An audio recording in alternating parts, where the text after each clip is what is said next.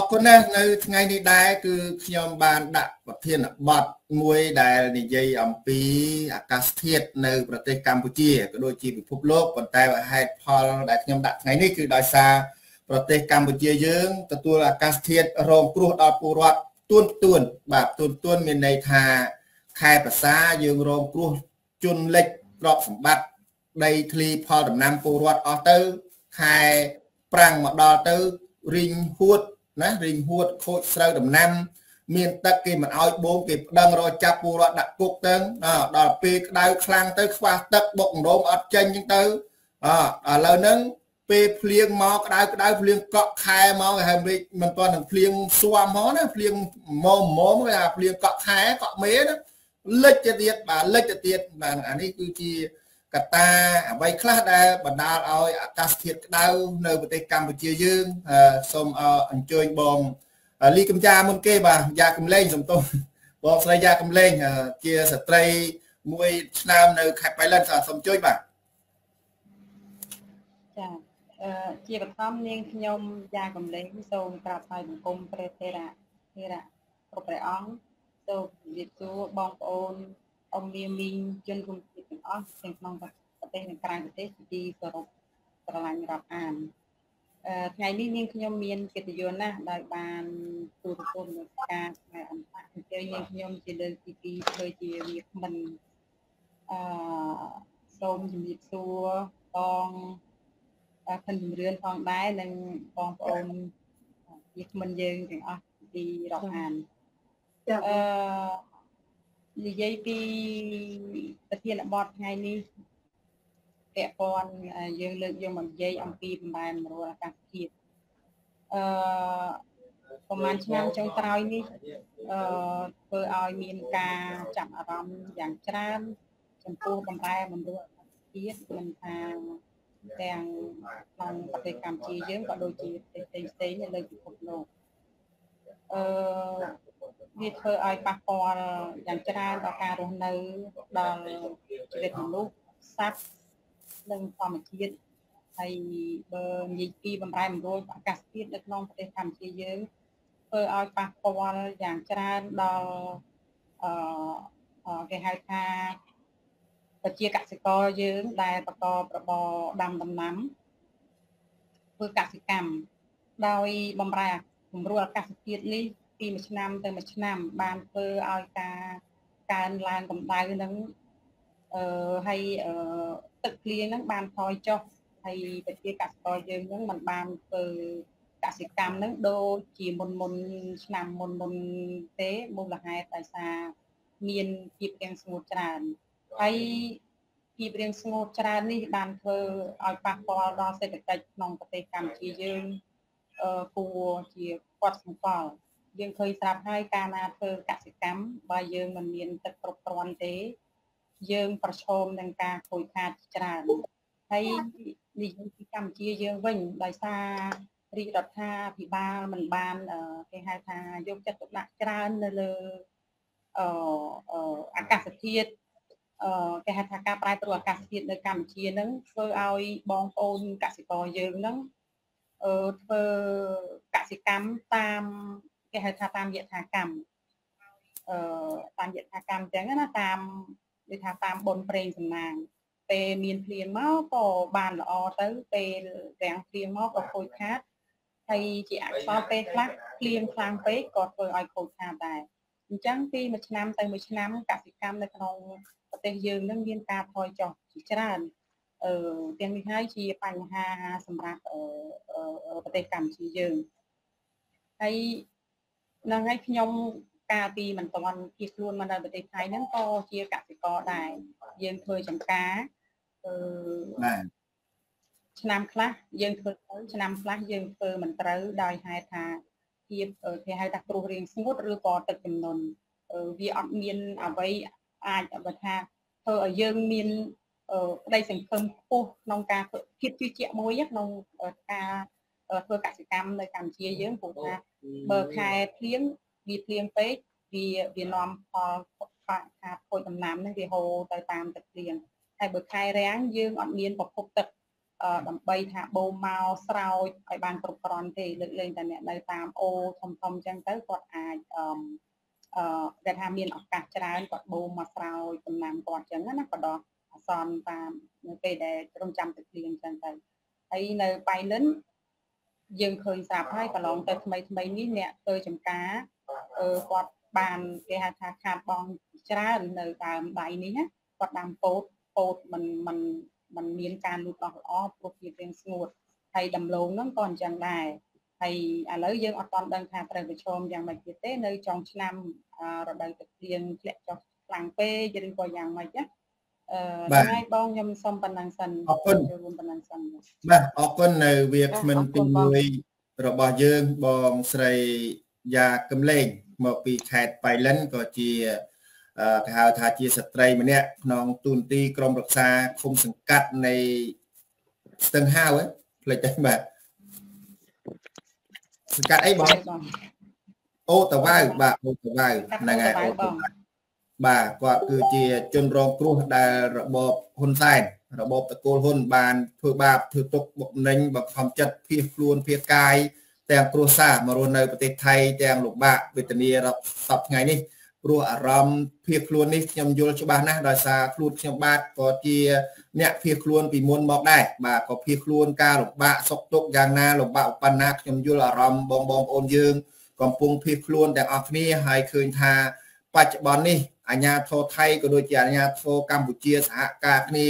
ធ្វើបាបដល់គ្រួសារបងស្រីក៏ដូចជាអ្នកផ្សេងផ្សេងទៀតនៅក្នុងទីក្រុងបាងកកដែលព្យាយាមប៉ុនប៉ងចាប់គ្រប់ពេលវេលាទាំងអស់ឲ្យតែយើងប្រហែសបន្តិចវាយកច្បាប់ហៅថាគ្រប់គ្រងចូលប្រទេសគេខុសច្បាប់ណាធ្វើបាបដល់បងប្អូនជនភៀសខ្លួនយើង ឥឡូវនេះងាកមកវាគ្មិនទី2របស់យើងវិញបងខៀមកុសលបន្ទាប់ពីមកយើងឲ្យវាគ្មិនកូនពៅគេបាទកូនពៅគេត្រៀមទៅបាទមិនមិនឲ្យរិះខ្លួនទេកុំកុំអង្គុយឲ្យញឹមប្រឡែងចាប់យកបាទបងកុសលយើងឃើញហើយប្រជាពលរដ្ឋនៅខេត្តសៀមរាបគេហៅថាភូមិព្រែកតរុនណារុនឯកដែលពួកគាត់រស់នៅជុំវិញអង្គរវត្តមានសេចក្តីសុខណាស់ប៉ុន្តែបច្ចុប្បន្ននេះ ពួកគាត់ទៅនៅទីដែលគេហៅថាវាលហោឋាន មានទឹកមានភ្លើងក៏ពីមុនអត់មានទេដោយសារយើងរិះគន់ច្រើនទៅឥឡូវឃើញថាមានទឹកខ្លះមានភ្លើងខ្លះហើយកន្លែងខ្លះបុកដងចេញកន្លែងខ្លះបុកអត់ចេញណាបងប្អូនបុកដងមិនយល់ច្រឡំផ្សេងបាទដងយើងបុកចេញទឹកបើដាំហូបអីបានប៉ុន្តែវាគេហៅថាលំបាកបាទលំបាកហ្នឹងគឺដោយសារពួកគាត់ធ្លាប់នៅកន្លែងមួយដែលមានអ្វីគ្រប់យ៉ាងបែរទៅដោះដូរកន្លែងថ្មី ហើយឲ្យលុយគាត់មិនគ្រប់សន្យា10ឆ្នាំឲ្យមួយឆ្នាំ100ដុល្លារស្មើ40ម៉ឺនបន្ទាប់មកឥឡូវនេះអ្នកខ្លះអត់បានផងបាន100000ជាងអីចឹងទៅធ្វើបោកប្រាស់ចឹងទៅហើយអាកាសធាតុពេលនេះខ្ញុំចង់បានបងកសលគាត់ជាអ្នកខេត្តសៀមរាបហើយក៏ស្ថិតនៅក្នុងជនរងគ្រោះមួយរូបផងដែរនៃការដែលគេរំលោភបំពាននេះចង់ឲ្យរៀបរាប់ពីទស្សនវិជ្ជានៃខេត្តសៀមរាបខ្លះខ្លះបានទេបាទសូមជួយបាទនេះគេហៅថាដល់ក្រៅនេះលំបាកប៉ុណ្ណានៃបងប្អូនប្រជាពលរដ្ឋនៃ ភូមិរុនព្រៃរុនរុនឯកបាទព្រៃរុននេះមិនខ្មិចព្រៃខ្ញុំភាំងកន្លែងហ្នឹងដែរបាទសូមជួយបាទសូមជួយបាទចាអរគុណច្រើនបងជំរឿនដែលបានធ្វើជីវិតមិនសម្រាប់សម្រួលយ៉ាងបោះក្បាយនៅក្នុងកម្មវិធីហើយតែងតែផ្ដល់ស្នាមញញឹមដល់ពួកយើងទាំងអស់គ្នារហូតដល់ក្នុងកម្មវិធីស្បែជាយើងហត់នឿយនៅពីខាងក្រៅយ៉ាងណាក៏ដោយតែយើងចូលកម្មវិធីនិយាយពីរឿងសង្គមពិសេសសប្បាយទាំងអស់គ្នាដោយសារទឹកចិត្តនៃក្តីស្រឡាញ់ចាជាដំបូងខ្ញុំ សូមនមស្ការក្រាបថ្វាយបង្គំដល់ព្រះសង្ឃគ្រប់អង្គក៏ដូចជាជំរាបសួរបងទាំង3នៅក្នុងកម្មវិធីនឹងចាជំរាបសួរបងជាតិខ្មែរចាទាំងអស់ក្នុងនឹងក្រៅប្រទេសជាទីនឹករលឹកខ្ញុំសង្ឃឹមថាបងប្អូននឹងជួយ like ជួយ share របស់កម្មវិធីយើងទាំងអស់គ្នាកម្មវិធីយើងទាំងអស់គ្នាអត់មែនបោះបង់ជំរឿនដាច់មុខបោះបងទាំងពីរដាច់មុខទេគឺបងយើងទាំងអស់គ្នាព្រោះយើងនិយាយអំពីបញ្ហាជាតិរួមរបស់យើងទាំងអស់គ្នា ចាតកតងទៅនឹងអីប្រជាពលរដ្ឋខ្មែរដែលនៅក្នុងខេត្តសៀមរាបបងប្អូនស្គាល់ខ្ញុំច្បាស់ហើយថាខេត្តសៀមរាបព្រោះបើមិនបាច់ប្រាប់ក៏គេដឹងដែរព្រោះនិយាយរលើបាទរំដៅមានស្នេហ៍ឬយ៉ាងម៉េចបាទអីអត់បដូរបានទៅមកមកនៅដល់បើគេឲ្យទៅនៅដល់បំពេញក៏នៅតែមិនបដូរដែរហើយមកនៅដល់កូរ៉េនេះក៏នៅតែដើរដដែលអត់ដូរទេហ្នឹងឯងអ្វីៗនៅតែទាំងអស់បាទចាបងចាហ្នឹងឯងទៀតទៅទៅនឹងបងប្អូនដែលនៅខេត្តសៀមរាបដែលជាក្នុងការដែលវាវវែងគម្រោងរបស់អីការរៀបចំនគរដែនដីរូបនីយកម្មណាអីប៉ះធ្វើទៅដល់រហូតទៅដល់មកជិត10000គ្រួសារ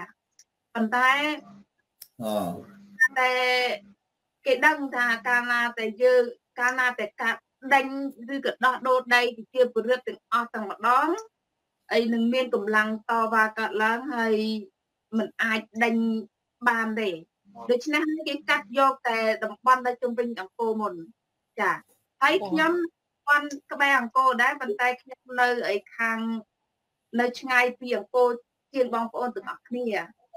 អីយើងដឹងហើយថានៅអង្គរវត្តហ្នឹងគឺជាអីដែលថាបេតិកភណ្ឌជាតិពិភពលោកហ្នឹងគឺវាអាស្រ័យទៅបេតិកភណ្ឌជាតិរស់ហ្នឹងគឺ វាទើបតែមានវិជាពរិទ្ធរស់នៅជុំវិញតំបន់អង្គរមិនចោលប៉ុន្តែក្រោយពីគេអភិវឌ្ឍគេប្រើពាក្យថាអភិវឌ្ឍគេដេញវិជាពរិទ្ធដែលម្ចាស់ទឹកម្ចាស់ដីចេញតែគេអ្នកដែលអញ្ញាមានលុយមានអំណាចគេធ្វើអាគារនឹងខ្ពស់ជាងអង្គរបងប្អូនអាចទៅអង្គរលេងអង្គរវត្តថតមើលអាគារគេថាធ្វើបាននេះគឺជាភាពខុសគ្នានៅក្នុងការដឹកនាំប្រទេសមួយដែលថាឲ្យតនិកក្រីក្រទុនសោយធ្វើអីក៏ខុស នៅលើទឹកដីខ្លួនឯងពីតពីដូនតាក៏ខុសដែរហើយពូកសំជាមួយនឹងបងប្អូនយើងដែលរស់នៅមិនមែនចោតគិតថាល្ងងទេប៉ុន្តែគិតអត់ដែលយកពេលវេលារបស់គិតទៅសិក្សាអំពីជីវិតសត្វនិងជីវិតមនុស្សសត្វណានៅពេលដែលគេដេញពេលដែលគេចង់មិនចង់ឲ្យសត្វរស់នៅកន្លែងណាគេដេញគេបង្អត់ទឹកបង្អត់បាយហើយគេប្រើអវ័យមួយដែលធ្វើឲ្យសត្វភ័យខ្លាចហើយសត្វនឹងវាទៅនៅកន្លែងផ្សេង តែប្រជាប្រដ្ឋខ្មែរយើងនៅជុំវិញអង្គរគេធ្វើប្រៀបដូចជាសត្វដែរគេដេញទៅដោយស្ងៀមស្ងាត់ព្រមតែគេគម្រាមបន្តិចបន្តួចនៅក្នុងការដោះដូរជាមួយនឹងដីជាមួយនឹងលុយ4 10 20ម៉ឺនបើប្រៀបនឹងប្រទេសកូរ៉េផងដូចជាផ្សាយព័ត៌មានដែលខ្ញុំឃើញឯប្អូនឯលីលីលើកឡើងអីគេផ្សាយហាក់ដូចជាទំនងណាស់អ្នកជនពិការអ្នកជំងឺអេដគេឲ្យ20000រៀល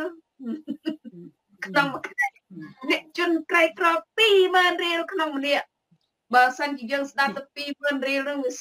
សម្លេចការផ្សាយរបស់គេនឹងហាក់ដូចជាតម្លៃ20000ដុល្លារឬក៏2000ដុល្លារអីជាដើមប៉ុន្តែ20000រៀលនឹងបងប្អូនយើងចូលខមមិនថាទិញតែអំបិលហូបក៏មិនគ្រប់ផងនឹងគឺជាការដោះដូរដីដល់អំណោយអធិណាស់ដែលយើង ដែលជាងជាជនរងគ្រោះយើងទៅនៅកន្លែងផ្សេងពីទឹកដីកំណើតរបស់យើងចោលផ្ទះចោលសំបែងកន្លែងដែលមានទឹកដងមានស្រាប់តែគ្រារស់នៅសុខស្រួលហើយមានព្រៃនៅតាមអង្គរយើងគ្រាដើរបេះអាផ្លែរុក្ខជាតិនឹងហូបក៏យើងអាចរស់បានហើយយើងចេញពីអង្គរតែបន្តិចយើងមានចូលដល់ទីក្រុងសៀមរាបទាំងម្ដងគឺយើងអាចរកការងារប្រកបការងារអីបានទោះបីជា វាមិនបានខ្លាយជាអ្នកមានតែយើងអាចដោះស្រាយជីវភាពយើងបានតែពេលនេះគឺយើងបានទៅទីវារហោស្ថានដោយបងជំរឿនបានលើកឡើងហើយទីវារហោស្ថានទាំងការងារហើយក្តៅចង់ឆេះចាក្តៅចង់ឆេះនឹងឯងនេះគឺជារឿងដែលអណ្ដោយអធិមហើយខ្ញុំមិនមែនញុះញង់មិនមានអីទេគឺខ្ញុំអាណិតបងប្អូនទាំងអស់គ្នាថាយើងជាម្ចាស់ទឹកម្ចាស់ដីដែរតែមិនអាចសម្រេចចូលវាសនាដោយខ្លួនឯងបាន សូតើតើពេលនេះយើងអស់សង្ឃឹមមែនអត់អស់សង្ឃឹមទេឲ្យទៅបងប្អូនស្គាល់ពីសិទ្ធិសេរីភាពខ្លួនឯងណាទៀមទាមិនឲ្យការគៀបសង្កត់ហើយជាពិសេសបងប្អូនដែលត្រូវបានការដោះដូរហ្នឹងកាត់ប្រសាសន៍បងកសលបន្តិចបងកសលចង់ឲ្យបងកសលបកស្រាយចំណុចមួយដែលខ្ញុំមើលឃើញកន្លងមកខ្ញុំត្រូវបានធ្វើវាគ្មិន បើយើងប្រៀបធៀបនឹងលោកហ៊ុនសែនធ្វើផ្ទះកសាងសាលារៀនឲ្យឲ្យដី40ហិកតានៅខេត្តកំពង់ឆ្នាំងនិងបងប្អូនប្រជាពលរដ្ឋនៅភូមិព្រែកតរុនត្អែកហ្នឹងតើវាខុសគ្នាមិនរឿងម្ចាស់ប្រទេសនិងពួកយួនដែលវាមករស់នៅក្នុងប្រទេសកម្ពុជាខុសច្បាប់ហ្នឹងវាវាហៅថាបើវាតម្លៃជនជាតិដើមនិងជនជាតិចំណាក់ស្រុកមករស់នៅបោះខុសច្បាប់របស់យើងនោះយើងប្រៀបធៀបមើលតើវាខុសគ្នាមិនដែរបាទសំជួយចាអរគុណ ចំណុចនេះជាចំណុចពិសេសមែនទែនដែលខ្ញុំជាប្រធានអីបណ្ដាក់សមាគមយុវជនកម្ពុជាសកលនៅប្រទេសកូរ៉េនេះក៏បានកំពុងនឹងធ្វើអកិច្ចការងារនោះដែលយើងនឹងធ្វើជាអីស៊ីវិខិតស្នើទៅដល់រដ្ឋាភិបាលលោកហ៊ុនម៉ាណែតដែលតតំណែងពីឪពុកទៅកូនគិតនឹងឡើងមកកូរ៉េហើយយើងនឹងធ្វើការទៀមទារឿងនោះចាតកតងទៅនឹងដីនៅខេត្តកំពង់ឆ្នាំង40ហិកតាដែល អីកាលពីលោកហ៊ុនសែនអតីតនាយករដ្ឋមន្ត្រីលោកហ៊ុនសែនហ្នឹងនៅគឺបានអីឲ្យដីនឹងទៅយូនរស់នៅដែលលើពិភពលោកអត់មានអត់មានប្រទេសណាដែលគេអនុញ្ញាតឲ្យជនបរទេសរស់នៅលើដីឲ្យដីគេនៅដោយស្រួលទេខ្ញុំរស់នៅលើទឹកដីកូរ៉េនេះណាទីប៉ុណ្ណេះណាគឺ500ដុល្លារក្នុងមួយខែយើងនៅអត់ទានគិតទឹកភ្លើងរបស់របបប្រតាអីទេទេតែចំណែកកម្ពុជាយើងអីគេឲ្យដីយូន40ហិកតារស់នៅយ៉ាងស្រួលមិនត្រឹមតែប៉ុណ្ណោះគេធ្វើទៀងហេតុថារចនាសម្ព័ន្ធឲ្យគេធ្វើទៅផ្ទះឲ្យទៀតបងប្អូនមិនសង្កសីសាបមកពីសន្លឹកឲ្យលុយ100000ឲ្យដូរដីបងប្អូនដែលមានតម្លៃរឹបលានដុល្លារនៅទីក្រុងអង្គរឲ្យគេគេ ថាគេនឹងគ្រឿនបាល់ទៅទៀតនឹងគឺជាអ្វីដែលគេហាក់ដូចជាមើងងាយខ្មែរយើងដែរដោយសារតែខ្មែរយើងនឹង slot ពេកហ្នឹងហើយដូចជាថាមនុស្ស slot តែងតែវិនិច្ឆ័យ slot ខ្លាំងពេកក៏វិនិច្ឆ័យអីគេហៅថាលមោកខ្លាំងពេកក៏វិនិច្ឆ័យដូចថាលោភលួនណាហើយនឹងអីការជឿទៅលើការឃោសនាដែលគេហៅថាល្ងងឲ្យតែគេឃោសនាមិនគេជឿគេអត់ដឹងផលប្រពើទៅថ្ងៃក្រោយនឹងគឺ លំបាកហើយដូច្នេះហើយអីបើព្រៀបទៅគឺប្រជាប្រដ្ឋកម្ពុជាយើងអត់ចេះមើលយូនទេអត់ចេះមើលយូនដែលគេហេតុអីគេឲ្យយូនរស់នៅបានយ៉ាងស្រួលអីខ្លួនឯងរស់នៅមិនបានទាំងមានទឹកមានដីខ្លួនឯងរស់នៅមិនបានហើយអត់ចេះទៀមទាទៀតបើបានជាចេញទៀមទាទាតែមកប្រាវគឺគេលួងលោមឈប់អស់លីងអត់មានទៀមទាឲ្យបានជាសាច់ការដូចស្ត្រីបង្កក់មានបងទេពអនីមានលោកយាយ ម៉ាមីអីអីជាដើមគឺទាទៅទៅជោគជ័យជោគជ័យនឹងជោគជ័យទាំងផ្លូវច្បាប់ហើយបានផ្ទះមកដោយមានខ្លាំងហើយរស់នៅកន្លែងដើមដដែលតែបងប្អូនមួយចំនួនគិតគិតគិតទៅត្រៀមទាអីយកកលុយហើយអាផ្ទះក៏អស់លុយក៏អស់ជាពាក្យធនាគារក៏កាន់តែខ្លាំងនេះគឺជាហានិភ័យណាសម្រាប់គិតទៅជាពលរដ្ឋខ្មែរទៅថ្ងៃអនាគតដែលកាន់តែភ្លេចចោះនឹងឯងហើយយើងត្រឡប់មក ទាក់ទងនឹងប្រធានបទបន្តិចខ្ញុំចង់ចូលរួមជាមួយប្រធានបទដែលបងលើកឡើងតែបុកអង្គមិនចេញណាបងប្អូនជ្រឹងជាងចាជាទូទៅប្រទេសកម្ពុជាយើងជាប្រទេសដែលស្ថិតនៅក្នុងតំបន់អាកាសធាតុក្តៅហើយសើមចាតំបន់ត្រូពិកវាសម្បូរទៅដោយទឹកហើយសម្បូរទៅដោយសំណើមចាហើយអាកាសធាតុមិនក្តៅដូចបច្ចុប្បន្ននេះទេហើយបច្ចតែបច្ចុប្បន្ននេះបងប្អូនមើលទៅគឺក្តៅឆេះចិត្តពុះ ទឹកពុះនៅ100អង្សាសេតែយើងឥឡូវគឺ41 42ហើយនេះយើងនៅមានព្រៃខ្លះផងដែលគេបំផ្លាញនៅសល់សេះសល់ណាយើងបានកម្ដៅ40ពេក40ទៀងនៅពេលដែលយើងមិនមានការការពារព្រៃឈើបន្តទៅទៀតណានៅតែមានការកាប់បំផ្លាញមានការលក់ព្រៃកាប់បំផ្លាញព្រៃដិតព្រៃចោលទេ កន្លែងខ្លះដែលគេកាប់យកទៅលក់មិនបានដឹកចេញមិនបានគេដឹកទាំងព្រៃចោលទៀតដូចនៅខាងខេត្តព្រះវិហារយើងមើលឃើញហ្នឹងនឹងគឺជាហានិភ័យណាស់សម្រាប់ប្រទេសជាតិយើងទៅថ្ងៃអនាគតយើងអាចនឹងខ្លាយទៅជាប្រទេសអាហ្វ្រិកដែលគ្មានទឹកគ្មានអីរុក្ខជាតិចាគ្មានទឹកគ្មានរុក្ខជាតិដែលធ្វើឲ្យយើងនឹងវេទនាជាងនេះឥឡូវយើងថាក្តៅប៉ុណ្ណេះហើយបងប្អូន ជំមើបន្ទាបតែពីតិចបន្តិចទៅបងប្អូនក៏តិចដែរនឹងគ្នាតិចដែរភ្លេចគិតថាពេលដែលបងប្អូនកាន់តែតិចគេកាន់តែបំផ្លាញបន្តទៅទៀតហើយបន្ទាបពីមិនយើងមិនមានការចូលរួមទប់ស្កាត់យើងនឹងខ្លាយទៅជាប្រទេសដែលគ្មានទឹកប្រើប្រាស់រស់នៅវេទនាជាងជាងស្លាប់ចុះសូមឲ្យបងប្អូនបងប្អូនទាំងអស់គ្នាគិតពិចារណាឡើងវិញឥឡូវអាកាសធាតុដូចថារៀងថយបន្តិចហើយបងប្អូនភ្លេចភាពក្តៅក្រហាយហើយ ដូច្នេះហើយខ្ញុំសូមរំលឹកដល់បងប្អូនទាំងអស់គ្នាថាទោះបីជាអាកាសធាតុប្រែប្រួលទៅជាស្រាលបន្តិចក៏ដោយសូមឲ្យបងប្អូនទាំងអស់គ្នាចូលរួមទប់ស្កាត់ដល់អ្នកមានលុយនិងអ្នកមានអំណាចដែលបានរួមគំនិតគ្នានៅក្នុងការបំផ្លាញជាតិរបស់យើងជាមួយនឹងក្រុម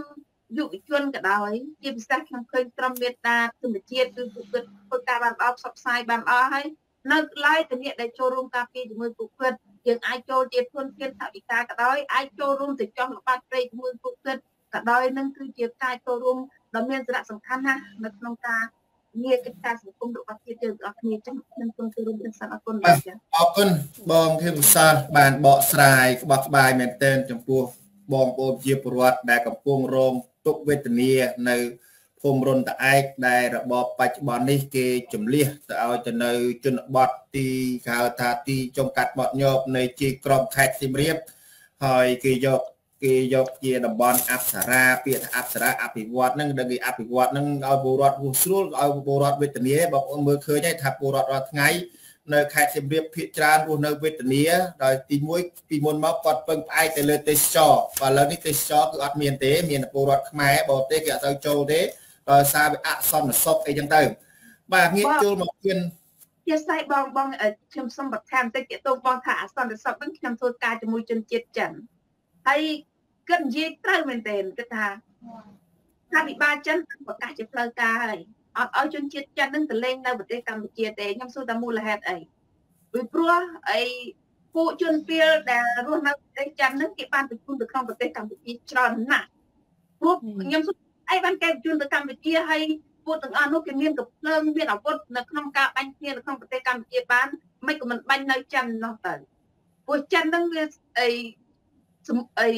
មានលុយច្រើនជាងខ្មែរហេតុអីបានជាមកធ្វើអារឿងទាំងអស់គ្នានៅនៅស្រុកខ្មែរតាំងនៅក្នុងចិននេះដែលសហសាហាវគឺអីរដ្ឋាភិបាលចិនកំចាត់បានល្អណាស់អត់ហ៊ានទេតែហ៊ានតែនេះគេធ្វើអីមហាជីវិតណាបង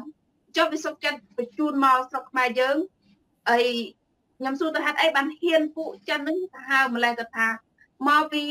ពួកហ្នឹងគឺអីត្រូវការលុយនៅពេលដែលជនជាតិចិនដែលធ្វើទេសចរទៅលេងខ្មែរណាវាដឹងថាជាអ្នកចិនបានមានលទ្ធភាពដូច្នេះវាអាចហ៊ានបាញ់សម្លាប់នៅក្នុងទឹកដីខ្មែររបស់យើងដូច្នេះយើងមើលឃើញថានេះគឺជាអសន្តិសុខដែលបងជំរឿនលើកឡើងត្រូវខ្លាំងមែនទែនអសន្តិសុខដែលគ្មានបរទេសគ្មានតលេង ចាស់ជិះបងជំរឿនអរគុណឥឡូវយើងឃើញវាគ្មិនយើងបង្ហាញវត្តមានម្នាក់ទៀតហើយបន្តមិនទាន់បើកកាមេរ៉ាទេកំពុងតែរៀបចំខ្លួនបាទកំពុងរៀបចំខ្លួនបងប្អូនទាយមើលតើជាអ្នកណាបាទឥឡូវវាគ្មិនយើងរៀបចំបន្តិចសិនទៅយើងចូលសីម៉ៅបាទសីម៉ៅគាត់គឺជាតារាទឹកនឹងរះនៅលីយ៉ុងនេះច្បាស់ទៀតបាទ បាទទឹកបង្រះនៅលីយ៉ុងបាទឥឡូវនេះសូមចង់សួរសីម៉ៅបន្តិចពាក់ព័ន្ធនឹងការដែលសីម៉ៅតាមការរៀបរាប់ក្រៅឆាកមិនឆាកនយោបាយបងប្អូនណាក្រៅឆាកហ្នឹងមានគាត់ចូលដើមទីមកគាត់ថាគាត់គឺធ្លាប់ជាអតីត តំណាងសហជីពមួយនិងរោងចក្រមួយតើពេលដែលធ្វើការរោងចក្រយើងឃើញថាបច្ចុប្បន្ននេះគេត្រូវបានបិទមាត់ដេកជាបិទភ្នែកមិនឲ្យដឹងអំពីកម្មករដែលរងទុកទោសក្នុងការធ្វើការខែក្តៅលំបាកលំបិនប៉ុណ្ណាពាក់ព័ន្ធនឹងអាកាសធាតុចុះពីមុនឥឡូវនេះវាក្តៅជាងមុនផងនោះតើយ៉ាងណាទៅឥឡូវដោយសារវាគ្មិនយើងចូលម្នាក់ទៀតហើយខ្ញុំសូមសិម៉ៅចាំបន្តិចលើកវាគ្មិនយើងសិនខ្លាចគាត់យំងបាទ ពួកគាត់កូនពៅក្រោយគេបាទសូមជួយឡើងបាទជំរាបសួរបាទអ្នកណាសួរបងបងតាជាចាជំរាបសួរបងប្អូនកំពុងតែចាបងចាសប្បាយបងចាបាទអរគុណសុខទុក្ខយ៉ាងណាដែរបងលក្ខណៈសុខទុក្ខដូចជាធម្មតាធម្មតាបងហើយទឹករត់មកពីផ្សារមិញអាឡ័យណាក់បងឡាយពេលល្ងាចហើយភ្លេចថ្ងៃខួបកណាតកូនណោះដល់ពេលអញ្ចឹងរត់ទៅផ្សារហ្នឹងហើយ បងប្អូននេះគឺជាវណ្ណលក្ខណៈនៅប្រទេសជប៉ុនហើយមុខស៊ីនណាបងប្អូនណាអត់មានអីណាទៅផាត់ color អីអត់ទេបងប្អូនមុខស៊ីនហ្មងបាទអត់មាន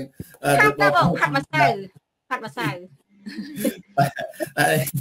អឺបេតតែឥឡូវនេះបងប្អូនយើងកំពុងទស្សនាទាំង YouTube ទាំងអីផងជិត100នាក់សូមលើកទឹកចិត្តដល់ស្ត្រីយើង4រូបនៅទីនេះជួយ share ជួយ like ជួយ comment ទៅ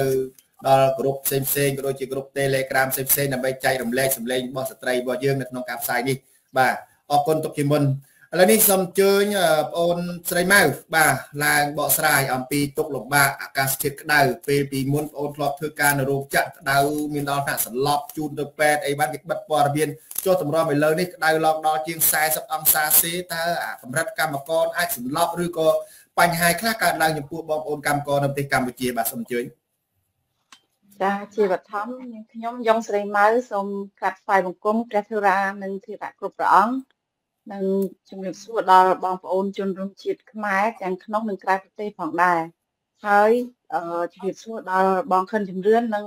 បងប្អូននិងប្អូនសយៈជើងចូលក្រោយផងចាជំរាបសួរបងប្អូនគ្នាចាបងតាមខ្ញុំមើលកាលពីខ្ញុំធ្លាប់នៅធ្វើការបងប្អូនខ្មែរយើងគាត់ធ្វើការនៅក្នុងរោងចក្រដែលខ្ញុំកាន់កាប់គឺបើសិនជាមានបញ្ហាអីព័ត៌មានគេអត់ឲ្យយើងផ្សាយចេញក្រៅទេបង ចាខុសត្រូវគេតំណាក់តំណងត្រឹមយើងជាប្រធានសហជីពឬមួយក៏ឲ្យយើងតាក់ទងទៅថ្នាក់ដឹកនាំរបស់យើងប៉ុន្តែគេនិយាយទៅគឺព័ត៌មានគេអត់ចង់ឲ្យយើងផ្សព្វផ្សាយចេញទៅក្រៅទេគេនឹងធានាខុសត្រូវនៅក្នុងនឹងអញ្ចឹងហ៎បងហើយដោយការឡើងកម្ដៅហ្នឹងកាលពីពួកខ្ញុំធ្វើការដូចជាវាអត់សូវមានអាកម្ដៅនឹងដែលខ្លាំងដូចសប្តាហ៍ថ្ងៃនេះទេបង កាលពីពួកខ្ញុំធ្វើការកម្ដៅធ្វើការនៅក្នុងរោងចក្រមានត្រឹម30ជាងទេมันมันអាចមានដល់ដល់40ដូចសប្តាហ៍ថ្ងៃនេះប្រហែលជាអឺកម្មករយើងហ្នឹងគាត់ជួបការលំបាកច្រើនហើយព្រោះយើងដឹងស្រាប់ហើយនៅក្នុងរោងចក្រគឺដបូលរបស់គាត់វាវាក្តៅខ្លាំងណាអញ្ចឹងវាវាទទួលរងនៅអាកាសធាតុក្តៅនឹងខ្លាំងអាចធ្វើឲ្យគាត់នឹងមានបញ្ហាដូចជាសន្លប់ហើយនិយាយទៅវាប៉ះពាល់ច្រើនណាបង ប៉ះពាល់ដល់សុខភាពបងប្អូនយើងច្រើនម៉ាស៊ីនត្រជាក់ទេបងព្រោះខ្ញុំធ្វើការនៅកូរ៉េក៏កម្ដៅ30ជាងដែរនៅរដូវក្តៅគេមានម៉ាស៊ីនត្រជាក់ហើយនឹងគេមានដង្ហើល្អអញ្ចឹងអត់ទេបងនៅស្រុកខ្មែរយើងអត់អាចមានម៉ាស៊ីនត្រជាក់ទេនៅកន្លែងដែលបងប្អូនខ្មែរកម្មករយើងគាត់ដេគឺមានតែដង្ហើទេចាគាត់មានតែដង្ហើទេបើសិនជាគេអ្នកធ្វើការនៅក្នុង office អីហ្នឹងហើយគេមានគេមានម៉ាស៊ីនត្រជាក់តែសម្រាប់ពួកយើងជាកម្មករយើងមិនដែលបាន ទទួលអឺការគេនិយាយទៅគេមិនសូវយកចិត្តទុកដាក់ទេពីខាងតកាយក៏គេមិនសូវយកចិត្តទុកដាក់មួយកម្មកររបស់យើងដែរគេដឹងតែប្រើឲ្យការងារគឺគេធ្វើការចំពោះអាកាសធាតុវិញសីម៉ៅយល់យ៉ាងម៉េចដែរចំពោះរាល់ថ្ងៃជាកត្តាអ្វីខ្លះដែលធ្វើឲ្យអាកាសធាតុយើងក្តៅខ្លាំងឡើងខ្លាំងឡើងបងសីម៉ៅដាក់ដាក់ខ្លះទេចាខ្ញុំតាមអាកាសធាតុខ្ញុំដឹងខ្លះខ្លះដែរបងដោយសារតាអឺ មានអុកញ៉ាអ្នកធំអ្នកតូចអ្នកធំអីគេកាប់បំផ្លាញព្រៃឈើដូចជាកាប់រំលាយភ្នំរំលាយអីយូរយូរទៅវាអាចឲ្យអាកម្រិតក្តៅនឹងវាប៉ះពាល់ដល់អាកាសធាតុជាខ្លាំងបាទអរគុណស្រីម៉ៅខ្ញុំដោយសារយើងមានវាគ្មិនម្នាក់ទៀតជិបនឹងចូលឥឡូវមិញថាស្រីម៉ៅកូនពៅឥឡូវមិនកូនពៅទៅ អូនវណ្ណណាកូនពៅម្ដងបាទកូនពៅឥឡូវនេះធានបត់យើងអំពីតើកត្តាអ្វីខ្លះធ្វើឲ្យប្រទេសកម្ពុជាយើងឡើងកម្ដៅខ្លាំងរហូតដល់ជាង40អង្សាសេបងអូនវណ្ណលក្ខណាពេលខ្លះខ្ញុំឃើញគាត់និយាយ ក្នុង TikTok ផងក្នុង Facebook របស់គាត់មានប្រជាប្រិយខ្លាំងឡើងខ្លាំងឡើងរហូតដល់ពួកក្រុមជ្រុលនិយមថាតាំងខ្លួនជាអ្នកប្រជាធិបតេយ្យយកទៅផុសទៅវាយគេថាអីចឹងទៅហើយមាន គេជួយបន្តជាពិសេសក្រុមគណៈបកប្រជាជនដែលគេមិនសប្បាយចិត្តនឹងបងប្អូនអ្នកណាក៏ជួយបន្តថែមទៀតចឹងទៅបងប្អូនតើកត្តាអ្វីខ្លះទៅដែលធ្វើឲ្យខ្មែរយើងពលរដ្ឋខ្មែរយើងក្តៅឡើងក្តៅឡើងមិនត្រឹមតែក្តៅអាកាសធាតុទេសូម្បីតែឥឡូវហ្នឹងដល់ថ្នាក់ក្តៅដល់កាប់ដើរដុតផ្ទះប្រជាពលរដ្ឋ ឬក៏មានការអឺគេហៅថាដុតបំផ្លាញព្រៃឈើវ៉ាន់ដល់ផ្ទះឆេះអុកញ៉ា3 4 10 20ហត្តាហ៊ានមាត់ទៀតចោតទៅលើអ្នកដើររកឃុំអីចឹងទៅតើបងអូនយល់មិនដែរសង្គមខ្មែរបច្ចុប្បន្នបាទសំជួយចំពោះខ្ញុំអឺសង្គមខ្មែរបច្ចុប្បន្នដូចបងប្អូនបានឃើញហើយថា នៅពេលនេះអ្នកដែលកំពុងតែបំផ្លាញព្រៃឈើកំពុងតែឡើងឋានៈពីអុកញ៉ាទៅជាអ្នកអុកញ៉ាចា៎ ហើយយើងឃើញហើយប្រទេសឈើរបស់យើងគឺអឺយើងតែងតែមានអ្នកថែរក្សាការពារក៏ប៉ុន្តែប្រជាជនដែលខំស្ម័គ្រចិត្តការពារនឹងភិកច្រើនគឺ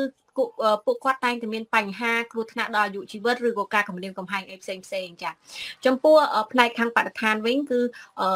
គាត់ការខំការពារដែរចុងក្រោយចាអ្នកការពារគឺជាអ្នកកាប់បំផ្លាញទាំងអស់ហើយប្រៃឈើនៅក្នុងស្រុកខ្មែរយើងឃើញគឺដឹកទាំងឡានទាំងឡានដើម្បីចេញទៅក្រៅប្រទេសលក់ដូរចាហើយយើងខំ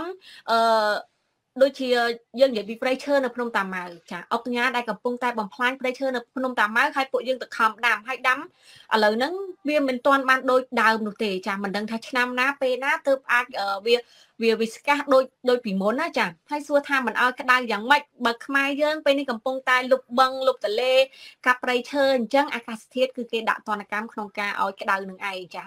ហើយនិយាយរួមវាមិនក្តៅតែតែក្នុងស្រុកខ្មែរទេវាក្តៅនៅប្រទេសផ្សេងផ្សេងក៏ប៉ុន្តែប្រទេសផ្សេងផ្សេងហ្នឹងគឺគេក្តៅគេអាចទ្រាំបានណាចាពីព្រោះថាជុំវិញផ្ទះយើងហ្នឹងគឺសិតតែព្រៃឈើអញ្ចឹងអុកស៊ីហ្សែនក៏ច្រើនខ្យល់បក់អីមកគឺវាធម្មតាក៏ចំពោះស្រុកខ្មែរយើងព្រៃឈើវាស្បោយទៅស្បោយទៅ អញ្ចឹងយើងអត់មានអីជារនាំងការពារទេការពិតព្រៃឈើហ្នឹងវាផ្ដល់អត្ថប្រយោជន៍អត្ថប្រយោជន៍ច្រើននៅពេលដែលមាន គ្រោះធម្មជាតិអីផ្សេងផ្សេងចាហើយក៏វាផ្ដល់អុកស៊ីហ្សែនជាច្រើនទៅដល់ជុំវិញទៅដល់មនុស្សលោកយ៉ាងដែរនៅពេលដែលយើងចាប់ដើមបំផ្លាញអានឹងហើយគឺការដាក់ទណ្ឌកម្មអំពី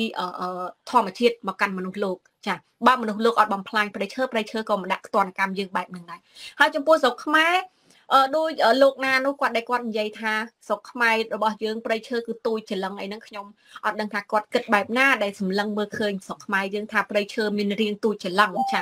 យើងនិយាយចឹងគឺភាសានេះគឺភាសាជាភាសាដោះសារមួយ ចាដោយសារតែយើងគឺមិនបានថែរក្សានៅអ្វីដែលយើងមានស្រាប់ក៏ប៉ុន្តែយើងបានបំផ្លាញហើយយើងចូលចិត្តធ្វើអសបនិមិត្តមកចំនួននៅធាតុពិតចាភាច្រើនគឺខ្ញុំឃើញថាយើងតែងតែកាប់បំផ្លាញធាតុពិតហើយដាក់របស់សបនិមិត្តចំនួនរហូតចា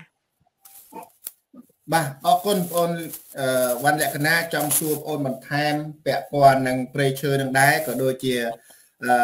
ការលុបបាំងលុបទន្លេលុបសមុទ្រគេនាំគ្នាលុបស្ទើទាំងអស់នៃប្រទេសកម្ពុជាឥឡូវនេះបែរទៅយកលុយនោះទៅចាយវាយគេហៅថាលុបបាំងលុបទន្លេលុបសមុទ្រធ្វើបរិយធ្វើបុយកេឡាហៅវិឡាលក់បានលុយរាប់រយរាប់ពាន់លានដុល្លារឥឡូវនេះបែរគេគេទៅខ្ចីលុយចិនហ្នឹងយកមកកាយព្រែកមួយទៀតបាទកាយព្រែកមួយទៀតហើយឲ្យកាន់កាប់ដល់50ឆ្នាំតើបងអូនមានអារម្មណ៍បែបណាដែរដែលពេលដែលពេលគេលុបបាំងលុបទន្លេលុបសមុទ្រអត់មាន ពួកអាមាត់ចាបមាត់ព្រៀបអីណាឡើងនិយាយហ៊ានតាតវ៉ាអីគ្រប់ត្រឬក៏ថ្កោលទោសបែរអាកាយព្រែកចាយលុយខ្ជះខ្ជាយរបស់ប្រជាពលរដ្ឋយកបងពលរដ្ឋខ្មែរឯងទៅធ្វើទីស្ករបស់ចិនខ្ចីបុលគេរាប់រយពាន់លាននេះបែរទៅថាគ្រប់ត្រគ្រប់ត្រហ្នឹងតើបងយល់យ៉ាងម៉េចដែរបើសុំខ្លីផងដែរបាទសុំជួយចាអឺចំពោះការដែលយើងលុបបឹងលុបប្រែដល់ថ្នាក់លុបដល់សមុទ្រទៀតចាប្រជាជនភៀកច្រើនមែនតែនដែល